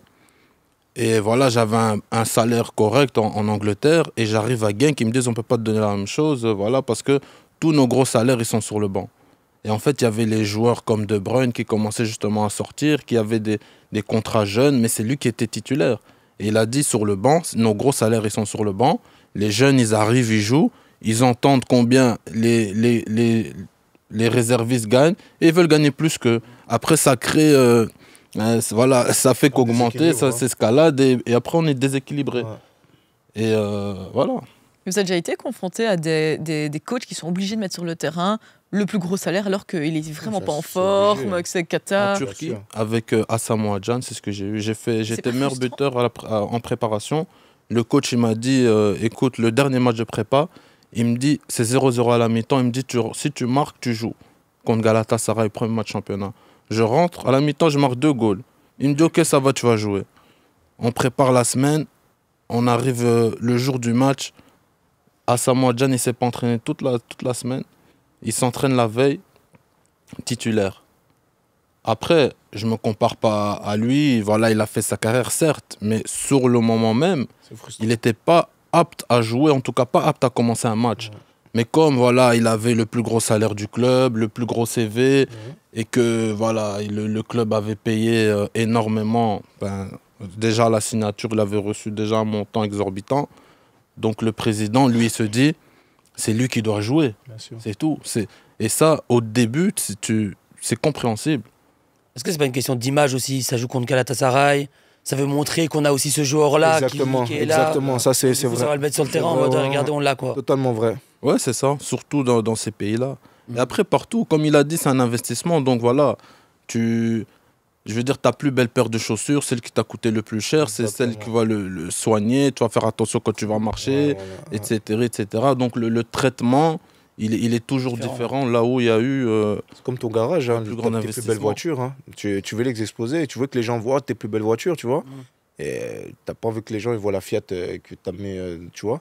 Même si la Fiat va t'aider au cas où ta voiture elle tombe en panne, tu vois. Mais c'est d'abord exposé. Aussi, en plus, en Turquie, c'est vraiment. Regarde-moi, j'ai celui-là. Ah, toi, t'as qui? Ah, moi aussi, je peux Mhm. l'acheter celui-là, tu vois. Il y a une compétition. euh, Ouais, voilà. c'est En fait, c'est des mecs qui ont trop d'argent. qui C'est comme un peu en Arabie Saoudite. Ah, moi, dans mon club, j'ai Cristiano voilà, Ronaldo. Maintenant, ils veulent Messi. Maintenant, ils veulent l'autre ouais, encore ouais. plus. Ok, je vais Messi, je veux prendre Messi. Tu vois, c'est un peu de jeu de, de gamin comme ça. Toi, t'as ça? Ah, ok, bon, ok, moi, je vais aller acheter ça. Tu vois, et c'est un peu ça en Turquie aussi. Mais c'est comme ici en Belgique aussi, c'est la même chose. Hein. T'as des. euh, je sais pas, moi, par exemple, Nao Lang, c'est un, un des cracks du championnat, mais. Je veux dire, par exemple, quand tu vois Trésor, pour moi, N- Noah Lang n'est pas plus fort que Trésor, par exemple, tu vois. Mais ils n'ont pas la même valeur au marchand. Après, l'autre, il joue en équipe nationale de- des Pays-Bas. C'est c'est autre chose, tu vois. Mais je veux dire, Trésor, il, il, c'est pas genre il a envie euh, Noah Lang, Non, pas cette saison, en tout tu cas. vois?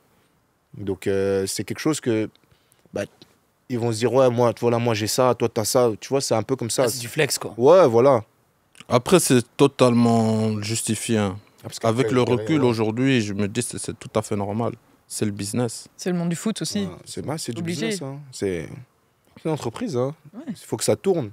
Et vous, vous faites, euh, vous avez toujours fait que du foot? Ou à côté, parfois vous vous êtes dit, je vais me lancer dans, dans ci, dans ça, des formations, euh, études, business, Que du football. que du foot. Ouais, que du foot. Parce qu'aujourd'hui, dans, dans votre division, en, en D1 amateur, Ouais, les gens il y a des, des gens qui travaillent la journée, puis le, c'est, c'est chaud. Enfin, Ouais, c'est- franchement, c'est chapeau, chapeau. parce que franchement, tu, en plus, les mecs, ils arrivent à être performants des fois. Tu te dis, mais tu l'as travaillé le matin, et après, il vient l'entraînement. Et puis, euh, encore nous, on a un mec euh, qui travaillait, euh, parce que nous, on s'entraîne quand même euh, l'après-midi. Donc, il, il est à mi-temps. Des fois, il arrive, euh, le mec, il a, encore, il a encore la patate. Pourtant, il s'est réveillé à 5 heures pendant que on dormait encore, tu vois. Et... Mais après, pour moi, c'est pas idéal pour jouer au niveau, c'est pas possible. Tu peux pas être performant sur, sur la durée comme ça. Parce que tu peux pas. hein. C'est pas possible pour faut moi. se c'est- reposer. Ouais, il faut se reposer, c'est important. Puis ça dépend du travail que tu fais. Imagine le mec, il, il charbonne dans des chantiers et puis il vient, mais à un moment donné, le corps, il va lâcher. Blessure. euh, Après, c'est pas aussi le même rythme aussi hein, Ouais. de, de, de, de jeu, c'est pas aussi élevé. Oh, quand même, il y a des matchs où c'est pas mauvais. hein. Ouais, non, je veux dire, il y a une certaine intensité, Ouais. mais ça, ça reste euh, pas du, du milieu pro. Ouais. Mais c'est vrai que parfois, tu vois des joueurs, quand même, ils galopent Ouais, et tu te ouais, dis, ah, quand même, le mec, il est semi-pro Il court. et il arrive à, quand même à tenir. Est-ce qu'il y a plus de blessures sur des gens justement qui ont un travail plus ils jouent en semi-pro? Ils ont plus facilité à avoir des blessures ou ça n'a rien à voir? Parce que l'autre fois, on avait euh, justement euh, Damien Mm. qui nous disait qu'il était parti euh, une fois à Walt Disney Ouais. et, euh, et c'était un jour de repos. Mm. Et juste le fait d'avoir été à Walt Disney pendant une journée, il est revenu le lendemain entraînement blessure direct. Ouais, tu vois. Donc du coup là, ils travaillent en même temps. Donc est-ce que leur jour de repos, même le fait que tu vois, ils soient tout le temps actifs au final Pour moi, un jour de repos, tu dois te reposer. Ouais. Pour moi, c'est vraiment un repos. Tu es à la maison, euh, tu peux faire tes étirements. Après, c'est vraiment repos, te reposer, tu vois. Mais euh, après, ça dépend chaque fois un corps à un autre. Comme je t'ai dit au début, en off, tu as des mecs qui sortent tout le temps et ils n'ont pas de blessures, tu vois. Tu as des mecs qui, qui sortent pas, ils ont des blessures, tu vois. Puis ça dépend de ton corps, en fait. comment Il faut connaître ton corps. Pour moi, c'est important de connaître son corps.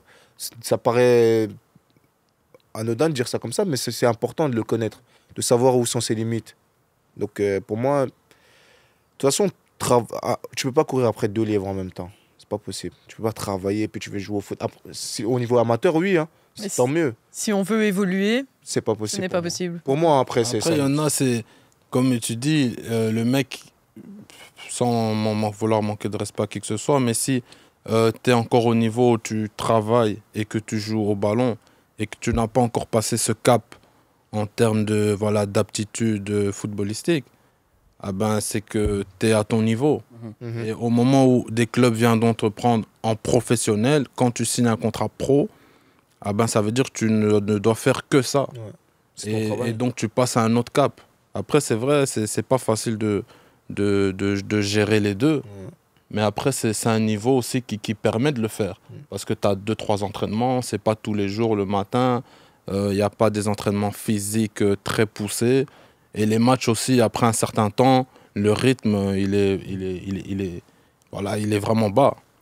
Donc euh, c'est c'est ce qui résume un peu aussi euh, l'ensemble euh, que la moitié des joueurs travaillent encore. Vous vous souvenez de quand on vous a appelé pour faire votre, euh, enfin pour aller signer dans votre premier club professionnel Ouais. C'était comment, quand, enfin qu'est-ce que vous faisiez? Mais moi, je veux juste revenir, s'il te plaît, de- sur ce qu'il a dit. Parce que tu vois, par exemple, quand tu regardes le top 3 aujourd'hui Ouais. de notre série, bah, c'est le top. C'est tout, On s'entraînait tous les jours. Et on s'entraînait le matin. C'est l'image. Hein. Tu vois? Non, mais c'est pour te dire que si tu regardes Framborin s'entraîner le matin, tu nous regardes nous, tu regardes pas trop. C'est une équipe qui s'entraîne tous les jours. Donc ça veut dire qu'à un moment donné, on a gagné des matchs physiquement. Les 60 premières minutes, tout le monde tient. Mais c'est après. Voilà. C'est là que ça se joue. Le rythme, ouais. Pas trop, ils ont, ils ont marqué énormément de buts à la 90e, à la 92e et à la 94e. Tu vois ce que je veux dire? C'est, Ça veut dire que c'est, les entraînements, il n'y a pas de secret. Parce qu'il y en a, eux, ils s'entraînaient trois fois, je pense, vous entraînez Trois fois, trois fois. Nous, Quatre fois cinq. et puis trois. Voilà, tu vois, nous on était à 5 fois, tu vois. Parce qu'on jouait le dimanche. C'est, c'est petit, mais ça fait la fait la différence à la fin, tu vois. Vous, vous étiez plus comme dans euh, des clubs euh, professionnels. Ouais, on était vraiment professionnels. Vraiment formatés. euh, Voilà. Parce que quand je vois, par exemple, euh, on parlait de Nénov, Ouais. ils s'entraînent trois fois. Mais à la 60e, ça, ils ne peuvent plus tenir. C'est plus possible. Parce que euh, ce manque, c'est que nous, on est toujours en jambes. Ouais. Et eux, ils n'ont plus. Tu vois ce que je veux dire? Il y a la structure aussi. Ouais, voilà, tu vois. C'est tout un truc. C'est tout un truc. Et, et ces entraînements en plus, n'y a pas de secret. hein. La différence. Je peux pas me lever, je vais aller courir comme Geoffrey euh, 10 km, c'est pas possible, c'est- je sais pas. Et je peux même pas le faire. Tu vois Donc, euh, C'est un autre Geoffrey, c'est pas moi. On va le préciser pour euh, ceux qui nous Euh, écoutent en fait. voilà, c'est donc. Tu euh, pas 10 GN km tous les running. non, mais euh, franchement, il y a, y a des trucs, tu es obligé de t'entraîner. Et, et, euh, on, on a beaucoup cette discussion euh, ces derniers temps, c'est tout ce qui est euh, data. Vous, dans vos clubs. J'ai horreur de ça. Ah ben voilà, j'adore, mais j'aime bien parce que on, parle de, C'est de la pire connerie au monde. Et je pense que personne, tous les joueurs. tous les joueurs qui sont assis ici, ils ont dit je déteste les datas. La seule personne qui a dit j'adore, c'est le personnel quoi. Ouais, Damien et Jérémy Damien, Oui, mais, c'est- parce que c'est des entraîneurs. Ouais, ouais, c'est de la connerie. Pour moi, franchement, c'est de la pure connerie. Je peux pas prendre un joueur selon. c'est- On n'est pas des ordinateurs. Parce qu'il met des centres, parce qu'il a fait autant de courses à répétition, mais on oublie le football. On La magie. la magie du football, on oublie tout. On sait pas quantifier la magie. Non. et on, on- vous utilisez la data dans vos clubs respectifs? Ouais, maintenant ils ont commencé parce que la connerie, il faut bien que ça arrive à, à- à haute échelle, mais, mais c'est n'importe quoi pour moi. Par exemple, quand je regarde euh, la RAL, Ouais. ils ont tout fait sur data. Et là, ils sont quatrième, ça change rien. Ils ils sont quatrième. J'aurais dit, mais déjà, eux, leur système, ils prennent pas des joueurs au-dessus de 30 ans. Il n'y a aucune équipe dans le monde qui n'a pas de joueurs au-dessus de Faut 30 de la ans. maturité aussi, hein, c'est hyper. Merci. vous- Enfin, euh, Bah oui, il en faut. Tu gagnes pas un championnat avec des, des, des gamins. Je suis désolé, Arsenal va jamais gagner le championnat, Arsenal. c'est, bah oui, c'est fini. Ils vont plus ils vont gagner le championnat. En fait, le data, ce qui est bien, c'est que ça analyse les, les efforts, les Ouais. courses, euh, je veux dire le nombre de ballons apportés dans une certaine zone, etc. etc. Le, le seul truc, c'est que ce qui te fait gagner un championnat, par exemple, c'est ce qui est mental. Voilà. Euh, voilà, tout ce qui est mental, psychologique, Ouais. euh, la, la, même la gestion des efforts. Ouais. C'est-à-dire que savoir quel effort faire à quel moment, comment gérer le match, etc. Et voilà, des trucs comme ça, l'expérience. Et toutes ces choses-là, malheureusement, les data euh, a des limites. c'est la vérité. Elle, a, elle a ses limites. Après, ça donne beaucoup d'informations, c'est vrai de l'utiliser, mais je pense qu'aujourd'hui, ça a pris trop d'importance et il faudrait justement euh, trouver l'équilibre ouais. entre la réalité, tous ces aspects qu'on utilisait avant dans le football, et le et data. La data, j'adore parce que tout le monde a le même. Enfin, tous les Non, joueurs vraiment, ils ont le même euh, discours. Donc, mais toi, euh, qu'est-ce que tu en penses des data Après, c'est moi, parce qu'on faut moins aussi l'utiliser à qu'avant, donc on ne veut pas se faire cramer Ouais. aussi. Ouais, ouais, oui, c'est on, vrai. en- on en parlait de ça. C'est ça, ouais. Non, mais je trouve qu'il faut l'utiliser à bon escient. C'est- On peut aussi voir si le, le- le joueur est vraiment au-dessus de son rythme cardiaque pendant l'entraînement pendant une semaine, c'est qu'il y a peut-être un problème. Euh, à ce niveau-là, je pense que ça peut être intéressant, mais commencer à dire pendant un match, Eh, il n'a pas couru euh, ses 12 km aujourd'hui. Voilà, ouais, voilà. Je pense quoi. que c'est pas nécessaire, mais par contre, pour prévenir de certaines choses, de blessures ou euh, ouais. de, de fatigue euh, Ouais, ça, oui. physique, ça arrive aussi. hein. Vous pouvez pas, vous pouvez pas toujours être au top du top. Voilà. Enfin, vous allez, je vous pose la question, vous êtes toujours au top du top? Non, non. c'est impossible. C'est impossible. possible. C'est impossible. Et quand vous n'êtes pas au top, qu'est-ce que vous faites euh, Enfin, vous êtes conscient, vous vous dites, ok, c'est un petit down, mais je vais remonter. Ouais, parce que ah, match après match, hein. pour moi, c'est match après match. hein. Euh, c'est impossible de faire. On a fait 38 matchs, 38 matchs au top. Euh, sinon, je reste pas là. hein. Je- Il faut au minimum Anderlecht, alors. C'est c'est impossible. Il faut- il y a des matchs. De toute façon, dans une saison, tu as, un moment de creux.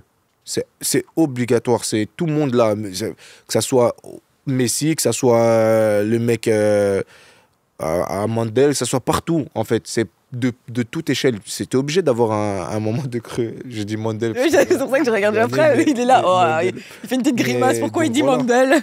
Mais pour, pour toi, les datas, c'est bon? Mais justement, c'est ce que disait Damien aussi la dernière fois. Lui, il disait que c'était super important pour lui aussi de comprendre son équipe Mm. et que euh, il pouvait aussi comprendre qu'il y avait certaines personnes qui les utilisaient mais mauvaises, tu vois, de, de façon euh, mauvaise. Et donc du coup, euh, moi je trouve que ça force un peu les joueurs à remplir un peu les données, Ouais, ouais. comme tu disais. Et je- on a demandé aussi avec euh, d'autres joueurs qui assumaient Mm. courir un peu, tu vois, en plus pour, Pour justement rien, rentrer ouais. dans le 12 km. Ouais, ouais. Très belle aussi disait que ça vraiment ça le Ouais, ouais. ça le rendait fou parce que pour lui, par exemple, il avait fait un bon match et à la fin du match, ouais, mais t'as couru que 11 km. Ouais, Van Alors que regarde en face, il a, il, a, il couru 13, tu vois ce que je veux dire? Donc du coup, je pense que ça peut faire tilter les joueurs. Et du coup, ils pensent plus à, à courir Ah, que voilà, leur ça. match Voilà, et se dire. euh, exactement. ça, Et ça et va tu sais, il a dit un truc intelligent, très belle. Il a dit on oublie qu'il y a des gens qui font des courses à haute intensité. Ouais. Il y a des gens, ils courent pendant. vite fait comme ça, ils courent tout le temps. Mais ils courent pour rien. Mhm.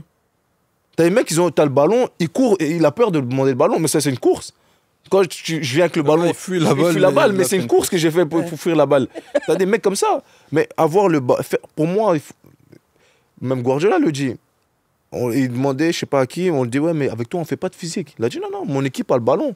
C'est avec le ballon qu'il faut courir. C'est pas. euh, Pour moi, le football, il, il commence à perdre trop de magie. C'est pour ça que nous, on arrive vers la fin aussi. on Vous êtes content euh, d'avoir vécu votre. euh, Ouais, parce que notre époque, est avec des magiciens, c'était le vrai football.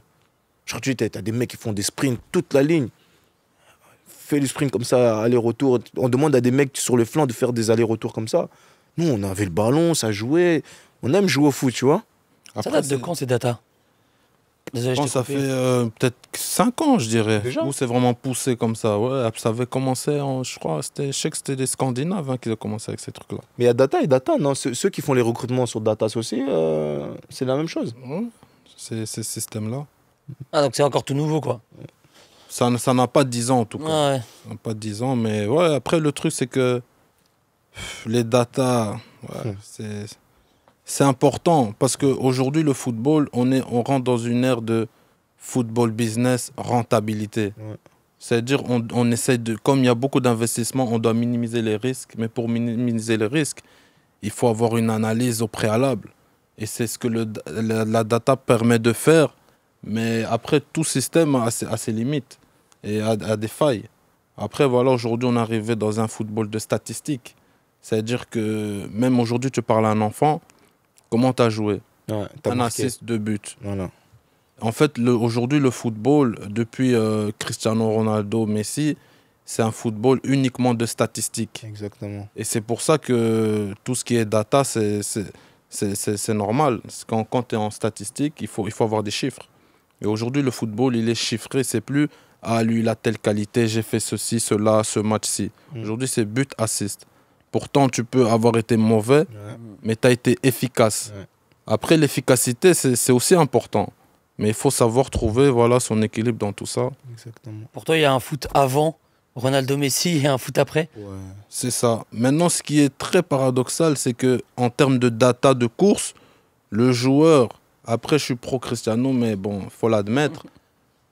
Messi, bon, je ne veux pas dire ce qu'il est, mais Messi, c'est le joueur qui a les pires data du monde. Ouais, ouais.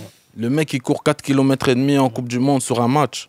Mais par contre, en termes de statistiques, d'efficacité, il est très très efficace. Ouais. Et c'est là où en fait, le mec, il est tellement fort qu'il arri- il arrive à fausser euh, Data. le data. Est-ce qu'ils font vraiment attention à ces datas quand ils savent que c'est Messi? Maintenant, oui. T'as vu à Paris? Ouais. Maintenant, on demande à Paris que Messi court. Or qu'avant, à, à Barcelone, on ne demandait pas à Messi de courir. Mhm. Il a- Messi n'a rien changé de ce qu'il faisait avant. C'est juste que maintenant, le championnat de France, il est vers la fin. On demande plus. Ouais, il doit courir, mais Messi. euh, C'est juste parce que y a, y a ça, ça n'allait pas. Ouais, voilà. Quand tout va bien, on ne demande pas à Messi de courir. Voilà, tu vois. Moi, j'ai vu Messi euh, jouer. Son... J'ai jamais vu. J'ai été voir Bruges, PSG. Honnêtement, j'ai vu. Messi. C'est un scandale. Ouais, c'est de la Sans randonnée. ballon, c'est incroyable. Et tu, et tu te remets en question, tu dis toutes ces années, le mec, le, défenseur central, il a la balle à côté de lui, il Lui, marche. à côté, ouais. Et c'est pas qu'il marche, il, il regarde le ballon, il marche et il regarde même pas le joueur. Donc le joueur, il court Il avec la balle et lui, il regarde la tribune, il est ailleurs, le mec. Et tu te dis, mais c'est un truc de fou. Mais c'est Messi. Une fois qu'il touche le ballon, t'as t'as tout Ouais. compris. Ouais. Et c'est là où, comme on dit, la magie, Du football. la magie, c'est la magie. Mais tu vois, si on regarde nos joueurs à l'époque, les Beckham, les Zidane, les, à part R9, parce qu'il avait déjà les statistiques, à part Henry, même les, les euh, Djurkaeff, aujourd'hui, ils peuvent pas jouer dans des clubs. Mm. Parce qu'ils ne font pas de stats. Iniesta. Iniesta et Xavi, c'est des mecs qui peuvent pas jouer aujourd'hui. On va passer à côté de pépites. euh, Ouais, parce que. parce que les datas. légendes. du non, football ouais, bah oui, des légendes euh, du football. Pour des pas de kilomètres. Voilà. Parce que. Non, mais après le jeu aussi, il était différent aussi. Parce qu'avant, par exemple, je me rappelle, moi, quand j'ai commencé à jouer pro, un attaquant qui mettait 10 buts, c'était suffisant. Oh, c'était beaucoup. Mais hein. avant aussi, chacun il avait un rôle défini, c'est-à-dire que le, avant c'était le droitier sur le flanc à droite, le, le gaucher à gauche, et puis ça a changé où le, le, c'était inversé, ouais. Pied, pied opposé, comme ça tu peux rentrer pour essayer de marquer. Parce que maintenant on en demande à chaque fois plus aussi à tout le monde. Ouais. Et c'est normal parce que c'est l'évolution du football, c'est l'évolution de, de, de tout. Et plus Tout évolue. Et, et le truc, c'est que maintenant, un défenseur, on regarde le nombre de buts qu'il marque. Avant, un défenseur, il défendait, il faisait la passe, tu avais le milieu. Avant, chacun avait un rôle défini. Ouais. Maintenant, tout le monde doit savoir tout Faire et faire un peu de tout. Et- et c'est ça. C'est ça qui. C'est l'évolution. Honnêtement, il faut vraiment- l'accepter. Pardon, vous avez vraiment senti l'évolution mais depuis euh, euh, quand vous avez commencé le football, dans vos premiers clubs, puis euh, dans, les champi- dans le championnat belge, puis à l'étranger, puis revenir au championnat belge, vous avez vraiment senti toute cette différence, enfin cette, cette évolution de football qui, qui évolue, qui, qui n'est plus le même? Parce que là, enfin, on peut dire que vous avez comme une carrière de, de 10-15 ans euh, facile, hein, Une euh, quinzaine d'années, oui. une quinzaine d'années, donc vous avez vu, vous avez senti cette évolution. Et vous avez quand même transité dans de nombreux clubs, et ce serait peut-être très chouette de revenir brièvement sur tous les clubs euh, euh, dans lesquels vous êtes passé pour... On euh, va commencer par lui, c'est long. hein. Ouais, on va commencer Ouais, par toi, parce que Geoffrey. Lui, c'est long quand même. Bon, C'est- et je- que tu en, nous dises en- un en peu- monde pro ou uniquement à la, à la- à la formation? Tu peux tout, tout nous raconter comment, depuis comment le premier jour où tu as été dans un club, même euh, euh, de manière amateur, pour, euh, pour Mais lui, il n'a pas connu, moi, un peu. Si, j'ai connu à, 6 ans, Voilà. j'ai commencé au club à côté de chez moi. Après, j'étais à l'Union. J'étais à l'Union et là, c'était à l'époque, on, appelle ça nation- on appelait ça nationaux. Donc euh, là, c'était déjà un peu plus poussé. Après, j'ai signé à Anderlecht après quelques mois. J'étais à Anderlecht donc de 8 à 15 ans. Ah, je Et, euh, à l'Union. Ouais, j'ai fait à Ouais, l'Union j'ai vu 6 ça, mois. ouais. Et puis, j'étais à Anderlecht de 8 à 15 ans. Là, c'est la formation, comme on dit, formation NERPED. C'est-à-dire que c'est la technique. Ah, c'est- c'est- de dire ça. Et tu vois, là, Bruxellois, tu c'est la formation NERPED. formation NERPED, il est Formation. NRPED, c'est voilà, joueur euh, sûr de soi, confiant, fort techniquement, joue au ballon. Et après, c'est beaucoup basé aussi sur le développement personnel, dans le sens où il n'y a pas une formation vraiment, mais c'est vraiment où tu dois être un peu autodidacte, dans le sens où c'est les meilleurs avec les meilleurs. Donc voilà, on jette les meilleurs, entre guillemets, ensemble. Et puis, chacun va voilà, se tirer vers le haut, la compétition, etc. Après, voilà, j'étais à Charleroi. C'est là que j'ai commencé à jouer en, en équipe première à 17 ans. C'est jeune hein, quand même. C'est jeune, ouais. Non, mais le pire, c'est qu'à cette époque-là, il n'y en avait pas Mais oui, déjà. c'est ça. Aujourd'hui, c'est on. Ouais, des aujourd'hui, à on- 16 ans, à euh, 16 ans, 15 ans, je vois des mecs qui jouent, jouent. euh, oui. À 17 ans, à l'époque, il n'y avait pas. hein. Ouais, Ouais, j'ai commencé à Charleroi à 17 ans. J'ai fait 3 ans à Charleroi. Ensuite, je suis parti à Wolverhampton. J'ai fait un an et demi là-bas. J'étais prêté. Euh, j'ai fait les 6 premiers mois. Puis j'ai prolongé d'un an mon prêt. Puis je suis parti au Standard de Liège. J'ai fait une saison au Standard. Je suis parti une saison en prêt à Watford. Je suis revenu au Standard deux ans. J'aimais bien faire euh, Belgique-Angleterre, Belgique-Angleterre? En fait, euh, depuis que j'étais petit, c'était mon rêve de jouer en Angleterre. Et euh, quand voilà, j'ai eu l'opportunité d'aller euh, à Wolverhampton, c'était c'est un rêve vraiment. Il y a, il y a le rêve d'être professionnel et puis tu as Le summum, de d'évoluer. voilà, il y a le Le rêve, berceau du le rêve éveillé, on va euh, dire. voilà. Et euh, C'est repoussé à chaque fois, les rêves. hein. Ouais, et puis quand j'ai j'ai- j'ai- j'ai- enfin, j'ai vécu cette expérience-là, ah ben moi j'avais plus qu'un truc, c'était de, de- de- rester en Angleterre. Après Wolverhampton, ça s'est pas passé comme je voulais, même si voilà, j'ai j'ai quand même pu goûter à, à la Première Ligue, à faire quelques matchs, euh, la, la FA Cup, etc. Mais j'étais encore jeune, j'avais j'avais que 20 ans. Est-ce qu'on t'a lancé trop vite à l'étranger, trop jeune? En fait, c'est pas comment lancer trop vite, mais c'est juste qu'en fait, le, le club, parce que il faut dire aujourd'hui c'est différent, mais à l'époque de Charleroi, c'était pratiquement impossible d'aller en, en première ligue. Ouais. Déjà, même de la Belgique, aller en première ligue, c'était très difficile à l'époque, Ouais, ouais. et surtout de, de Charleroi. Et euh, donc, c'était peut-être un pas. J'ai peut-être sauté une étape, et parce que physiquement, en fait, quand je suis arrivé là-bas, j'étais pas prêt physiquement. Et euh, voilà.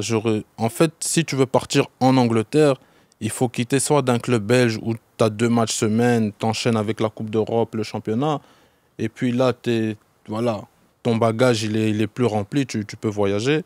Mais là, je suis arrivé là-bas, et physiquement, honnêtement, juste les entraînements, C'était incroyable. Ouais. Franchement, c'était, c'était impressionnant. Je suis arrivé, le, on a fait un, un échauffement de 45 minutes avec des sprints à haute intensité. Et je regarde un joueur, je me rappelle Zoubar, lui venait de Marseille. Et je lui dis, frérot, euh, c'est un entraînement physique. Il m'a dit, non, c'est l'échauffement. On fait ça tous les mardis. Comment je vais Eh, mon. Ah, c'est l'échauffement. On finit l'échauffement, l'entraîneur il dit bon voilà, on fait possession de balle sur tout le terrain. C'est pas une possession de balle sur tout le terrain, possession de balle, 15 minutes et après on fait 3 fois 30 d'opposition. C'est quel entraînement ça? Et tu fais l'entraînement, le mercredi c'est congé là-bas. Mais le même le mercredi, même le jour de congé, tu préfères même pas l'avoir et faire un entraînement limite normal et le mercredi aussi. Mm. Et, euh, et après, j'ai en fait, j'ai eu beaucoup de micro-blessures, des élongations. Voilà, Parce que c'était pas prêt. choc, hein. parce que j'étais pas prêt. Après, voilà, je suis revenu au standard et là, ça m'a permis de, de me préparer, aussi de commencer à faire du renforcement musculaire pour pouvoir être prêt à une certaine charge. Après, voilà, après standard, je suis parti en Suisse, à Sion. J'ai fait deux ans là-bas. Puis Comment t'arrives Turquie. euh, juste mentalement au standard, juste après avoir fait un club, euh, tu vois, de De première d'Angleterre, et après, ouais. et après t'arrives au standard, là t'arrives remotivé à bloc, tu vois, pour Ouais. repartir là-bas. Ouais, parce qu'en fait, euh, à, ce mo- en- en- à Wolverhampton, c'est certes la première ligue, mais on jouait là-bas, on jouait le maintien. Voilà, on jouait le maintien et au standard, là, tu vas en Belgique et tu joues le titre. On, T'es a- chez toi aussi. on joue la Coupe d'Europe. Et donc, euh, je me dis, voilà, en fait, en allant au standard, je me dis, là, j'ai deux ans, parce qu'ils m'ont dit, maintenant, tu es venu ici, tu connais l'Angleterre. Donc, pour revenir, tu fais deux bonnes saisons en Belgique, tu peux revenir. Donc, je me suis dit, voilà, là, j'arrive et mon, mon, ma motivation, c'est de tout péter Ouais, pour ça. repartir. Voilà. Donc, je suis motivé, voilà, on fait la Coupe d'Europe, je joue, etc. Et puis, après, voilà, donc euh, j'étais vraiment motivé au standard. Et c'est un grand club, il y a, voilà, il y a une ferveur, il y a. euh, c'était le standard, c'est la belle époque du standard aussi, qui sortait de deux titres, la Coupe de Belgique, voilà. Donc, euh, c'était, c'était un challenge vraiment que j'avais envie de, de, de relever. Après, il y a la Suisse, deux ans, puis la Turquie, puis je reviens à Lokeren, puis je pars en Israël.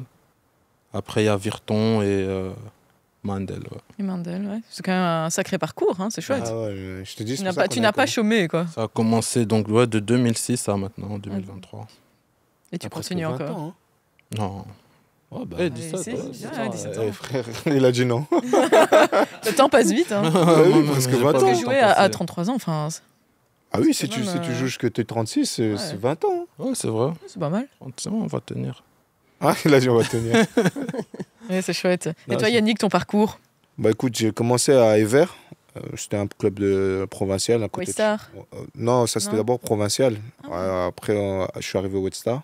À Ever, on avait fait euh, P3, P2. Je sais pas si tu connais un peu les niveaux amateurs. Si, si, ouais. Et euh, on a été champion. Et puis, euh, je suis arrivé au Wetstar en T'avais D2. quel âge? J'avais 18 ans. Ouais, 17. donc euh, toi, tu commences à 6, toi, tu commences à 18. Ouais. Non, moi, j'ai même pas 18 encore. Je suis en... à Ever. Je suis encore en provincial. Donc, je joue avec euh, des mecs qui viennent jouer le, le dimanche, tu vois. Donc, euh, j'ai vraiment commencé à 21 ans à, au Wetstar. Mon premier contrat au Wetstar était semi-pro. Euh, j'ai fait 3 ans au Wetstar. Je suis parti à Mons après. Euh, une saison à Mons. Je suis parti euh, à Mons, je suis parti à Ostende. Après Ostende, je suis parti à Louvain. Euh, Louvain, qu'est-ce que j'ai Je suis parti après Louvain, je suis parti en Turquie aussi. Fait- Tu connais aussi le championnat turc, du coup. Ouais, championnat. C'est un bon. Franchement, Vous étiez en champ- même temps en Turquie Ouais. on s'est Ah, c'est chouette, ça. Plusieurs fois à l'aéroport. plusieurs fois, plusieurs fois, on était à l'aéroport ensemble. Comme, euh, mais lui était vraiment. Toi, étais, lui était pas loin de l'Istanbul. Moi, j'étais un peu loin. Donc, euh, mais la Turquie, franchement, pour une parenthèse, c'est vraiment un beau pays. Franchement, si tu es payé à temps et à heure en Turquie, tu quittes pas la Turquie. Tu manges bien, tu vis bien, euh, tu manges vraiment bien. Oh, tiens, tu manges important, Ouais. tu Tu manges vraiment bien. Franchement, et t'es bien accueilli. C'est des gens, ils sont amoureux du football, tu vois. Tu marches dans la rue, même quand tu arrives en Turquie, la présentation, rien qu'en Et Turquie. tu as, vou- ouais, as voulu aller en Turquie pour la nourriture ou pour le Non, foot? mais en fait, la Turquie, quand tu viens, c'est au départ, c'est Lui, c'est que nature. Lui, il veut pas de salaire. Ah, c'est de l'eau, lieu de- Voilà, voilà, voilà. D'un mais vraiment, vraiment, la Turquie, franchement, très, très, très, très belle expérience. Après la Turquie, euh, qu'est-ce que j'ai fait? Oh, moi, Il a dit, je veux tout en nature, tu vois, non? Non, mais après, il y a quoi? Euh, La Turquie, j'ai fait quoi encore? Je suis parti en Écosse. Je suis en Écosse. Très, très, ça, c'était bien aussi. Franchement, très beau, très beau pays. Je- je- franchement, le football, tu découvres des, des endroits où tu n'imaginais même pas aller. J'habitais à Dundee. Je connaissais même pas. Et franchement, j'étais agréablement surpris. J'étais bien, c'est beau. C'est pas mal, l'Écosse, c'est bien. Après, je suis revenu en Belgique. Euh, je suis revenu, je suis à Mons. Hein. Ouais, je suis Mons. revenu à Mons, un peu Mons. la maison, c'est c'est un peu chez moi. Et puis Puis, maintenant, Liège. maintenant, Liège. Euh, J'espère que je vais terminer à Liège. Ouais, c'est chouette. Bah, là, t'as encore deux ans, donc. euh, Ouais, j'ai encore deux ans, mais je pense pas qu'on va aller plus loin. mhm. Le corps, il veut, le corps, il veut plus, le mental, il veut plus aussi. Écouter son corps, comme on Voilà. disait. Et alors, comment tu t'es décidé d'aller euh, dans le championnat turc? Comment- Comment ça s'est passé? Bah écoute, Est-ce j'avais que tu as fait- eu la même histoire de signature Non, que ou c'était plus soft Moi, c'est très simple. Tu connais, moi, c'est lui. Je t'ai dit que lui, il est compliqué. Je t'ai dit au début pas, il est compliqué. Moi, je suis pas compliqué. Moi, je suis arrivé en Turquie euh, via le biais d'un ami, Richie Badjibanga. Et il me dit Ouais, voilà, j'ai un club en Turquie pour toi. Vas-y, je dis Je suis fatigué, tu me racontes n'importe quoi. Toujours, tu m'appelles, tu me dis. Il me dit Non, on voyage demain. Je dis Qu'est-ce que tu racontes Je vais en voyage où? Il me dit Ouais, on voyage demain. Non, non, non, non, non. Je dis Non, non, non. Il, il m'envoie le billet et tout. On arrive en Turquie.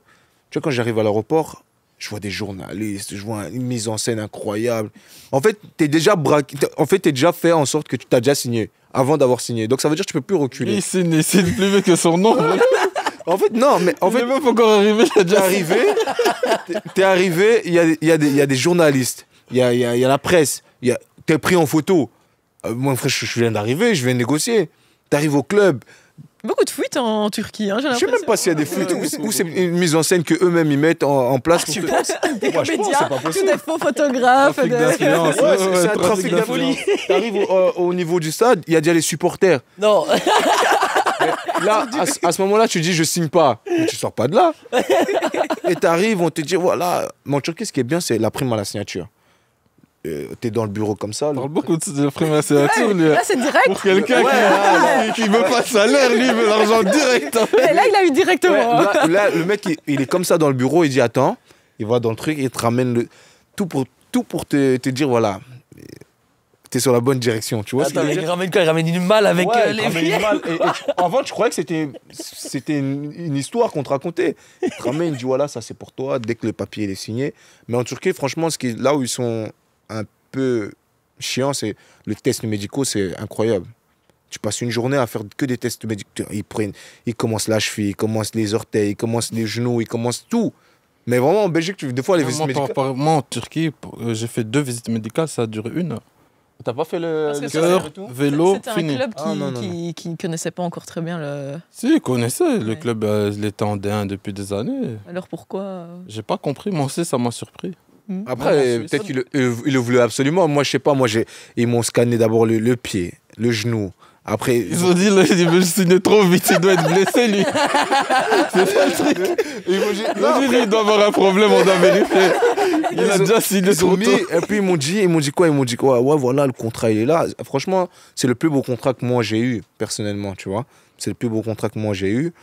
Et après, là, à ce moment-là, je gagnais plus qu'à Louvain de loin. Et ça, je voulais découvrir autre chose que la Belgique. On avait fait le tour et tout. Et, euh, et là, à ce moment-là, moi, ça ne dure pas trop longtemps, les négociations. Moi, tant qu'il y a tout ce que j'ai demandé, le reste, c'est fait. Après, euh, franchement, une belle expérience en Turquie. Et puis, euh, voilà. Les Mais, supporters.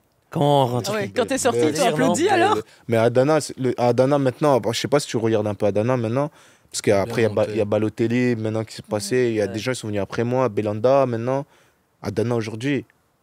Laisse tomber. Mais ça a toujours été comme ça, hein. c'est une- c'est incroyable. Il y a deux clubs à Adana, il y a Adana Demir Sport et Adana Sport. Mais Adana Demir Sport, moi j'étais là-bas, c'est le club de, de la ville. C'est incroyable, stade full, mais les... t'entends le, le, le, le- Non, c'est incroyable. Mais ça, en Turquie, t'avais ça aussi, avant l'échauffement, Ouais, tu vas chez les supporters, tu, tu fais un. Non, mais c'est. Tu sens que tu joues au foot. Ouais, c'est un mood. Ouais, tu sens que tu joues au foot. T'es un joueur de foot. Ouais, ouais. Ouais, Et- même le traitement que tu Le vas autour, traitement, t'es vraiment Tu traité vas, comme tu une vas marcher star. en ville, on vient, on te fait des photos. Ah, Ah ouais, ouais, ouais. Tu portes pas tes chaussures, Ouais, tu portes voilà. pas ton sac, il y a t'es un chauffeur. t'as- euh, chauffeur. T'as une autre Ah, vie, t'es en bien fait. traité. Ouais, t'es trop bien traité en Turquie. Parce que vous avez fait beaucoup de pays différents. Ouais. Et c'est là où vous étiez le mieux. Ouais, Traité. non, le mieux. C'est juste, je te jure, parce que eux, ils ont- ils ont un problème de salaire. Ouais. Ils sont pas réguliers. Tu vois Eux, une fois qu'ils t'ont donné la prime à la signature, ils se disent, ouais, voilà, il va se débrouiller avec ça. Non, non, non, non, non. non. Après, on verra. T'as vécu les problèmes de, de Ouais, salaire, mais en fait, euh, en Turquie, il n'y a aucun joueur qui n'a pas vécu. Comme la pluie en Belgique. Tu peux pas l'é- tu peux pas l'éviter. C'est- C'est vrai. Même Galatasaray et des, des gros clubs. Oui, comme bah ça. oui. Bien sûr. Bah, bah, partout, partout en Turquie. En fait, c'est un mode de vie. Ok, Un mode de Original. vie. C'est turc. c'est turc. C'est turc.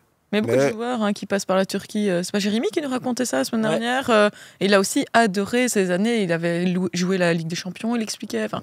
Ça, c'était en Croatie. Lui, c'est en Croatie, lui. c'est en Croatie. Mais il avait. Ravel, hein. il a- ouais, Non, mais il avait. Il avait fait euh, Ligue, des ouais, Ligue des Champions la c'est ça. Mais il était passé par un club Il est passé turc. par que- ouais, un club turc, il avait raconté ça. Tu travailles là, en Turquie?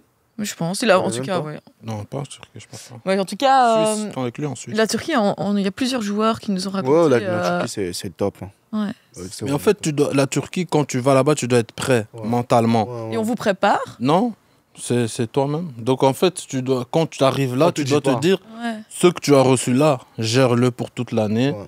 et joue au foot. Joue, compte pas trop sur ton salaire. Mais tu vas l'avoir après. Ouais. Tu vois, peut-être un an, deux ans après, mais tu vas Tu l'avoir. tu l'auras. Tu l'auras. Mais dans le moment Sauf même, si le club fait faillite, hein, pardon. Voilà. Mais Donc en vrai, parfois c'est difficile. Ouais, Il y a des faillites, mon frère. Ouais. Et, et les supporters en Turquie, Incroyable. ils sont chauds. Ils Incroyable. sont chauds. Incroyable.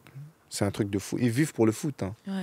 Ils Mais vivent pour le foot. Ça dit quoi du coup en Angleterre? Comparé à la Turquie, Ouais. tu vois Parce que l'Ang- l'Angleterre, ça a l'air aussi d'être un level. non, ça c'est. euh, Non, ça, en fait, l'Angleterre, c'est le pays du football. Ouais, ouais. Mais les causes de supporters, ils. le pays du football. C'est-à-dire que là-bas, tu.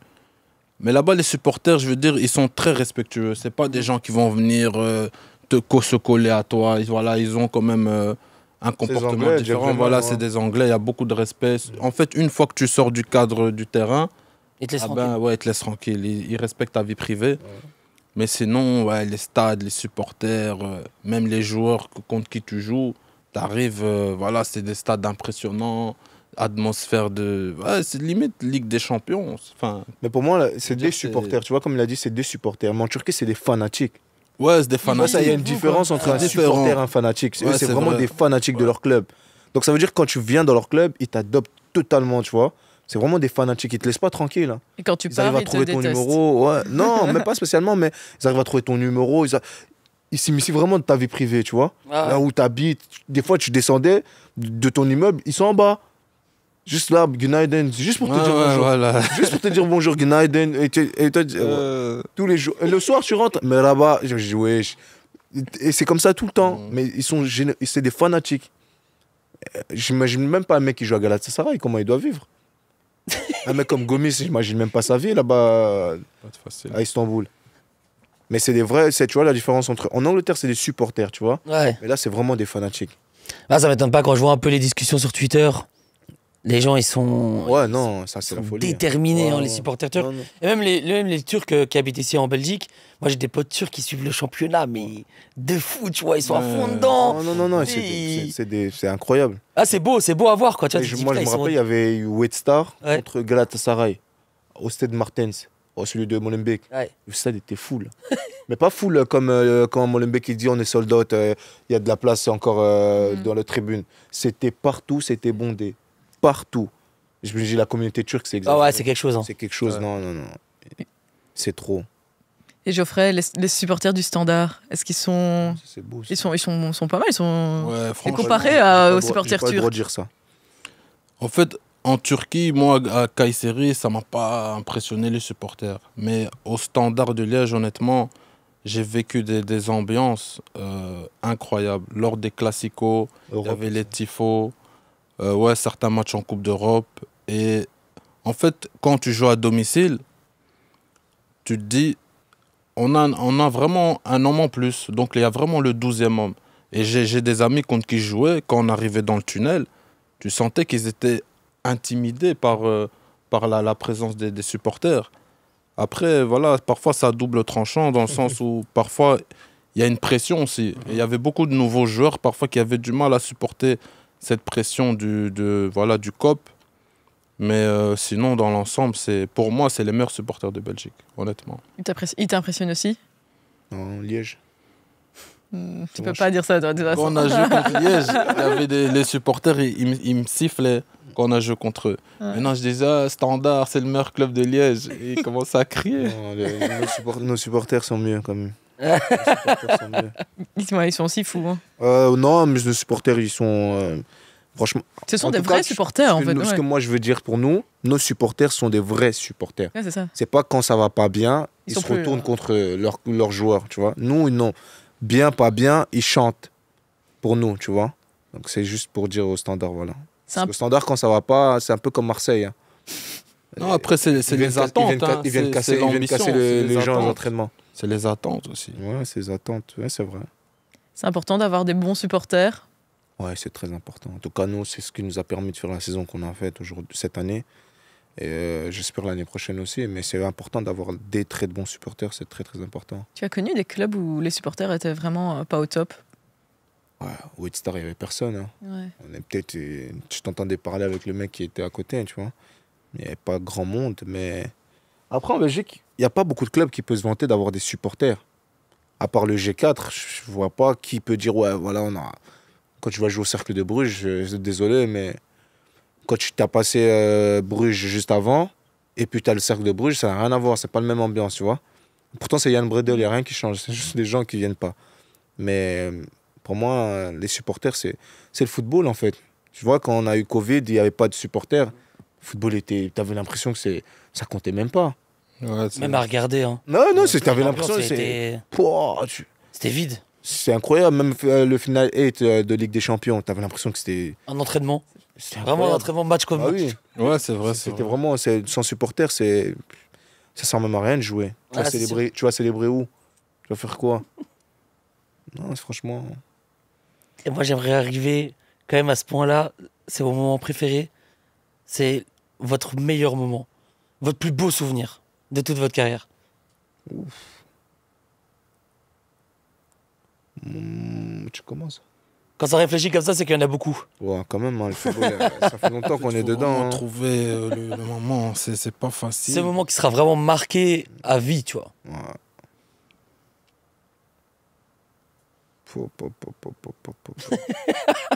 C'est pas facile. Après, il y a plusieurs moments. Après. Mais choisir vraiment le meilleur moment, c'est c'est pas facile. Ou un moment, un moment qui vous a Ouais, un moment- fortement marqué aussi, ça passe. l'un des moments alors. Euh, Moi, ouais. je dirais c'est mon premier but euh, en pro. Après, ouais, c'était mon premier but en pro. Parce que je sortais en fait d'une blessure de six mois. Je venais de commencer avec les pros. Et puis j'ai été blessé six mois. Je suis revenu. Et l'entraîneur, euh, à l'époque, c'était Van de Waal. Maintenant, je m'entends bien avec lui, mais à l'époque, euh, voilà, c'était pas trop ça. Et euh, il voulait pas me faire jouer, en fait. Il se disait, oh, tu vas pas jouer, nanana.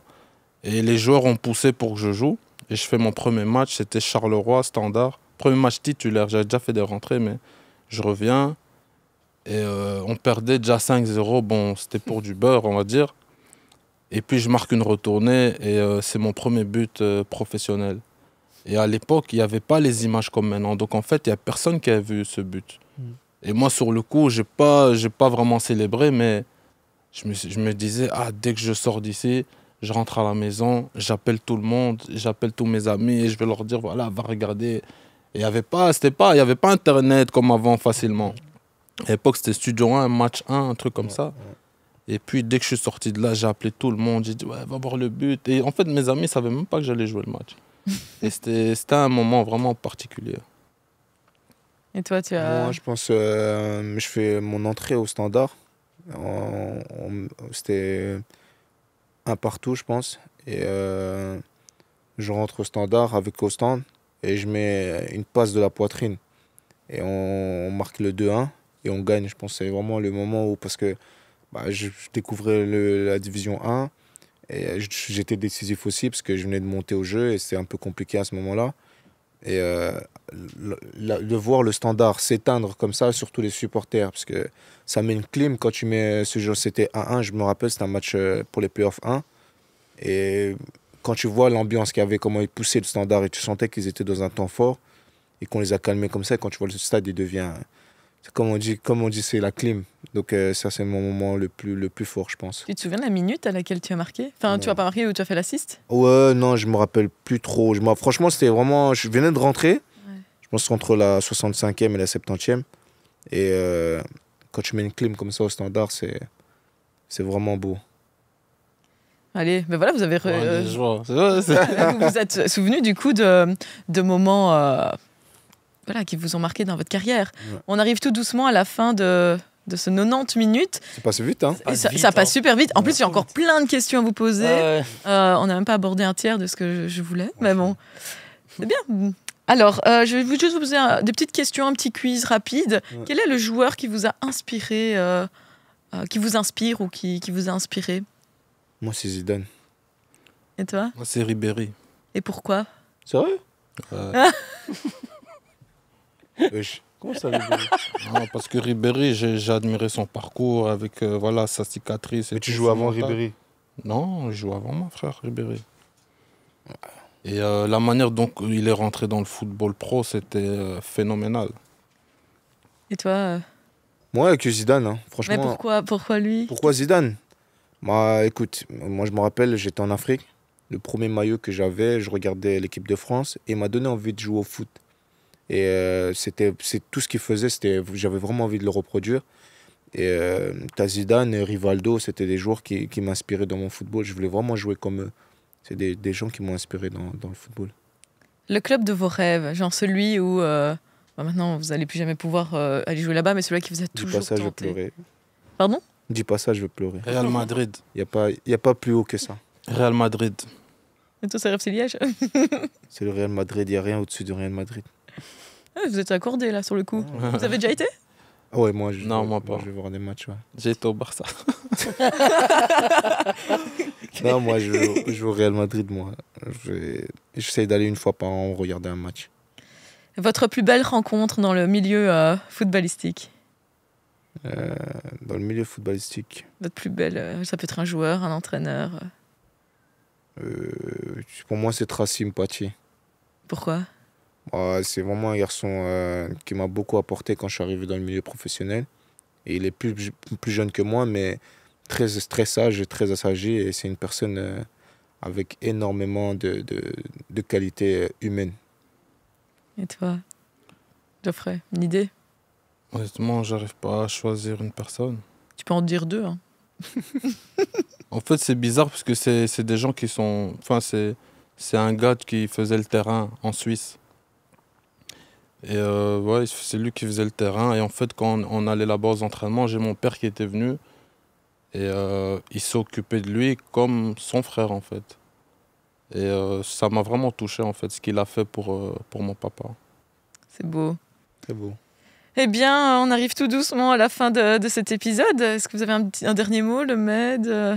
Moi, j'ai trouvé ça très constructif. et J'ai encore tellement de questions. Ah, Moi aussi. Mais euh, On va devoir refaire un épisode 2. La, la saison réinvitez, 2, en la fait. saison 2. c'était hyper intéressant, c'était drôle aussi. Donc, moi, j'ai passé Ouais. un super moment. Merci à vous. Merci Yannick, merci Geoffrey. Merci pour Merci l'invitation. pour l'invitation. Merci le MED.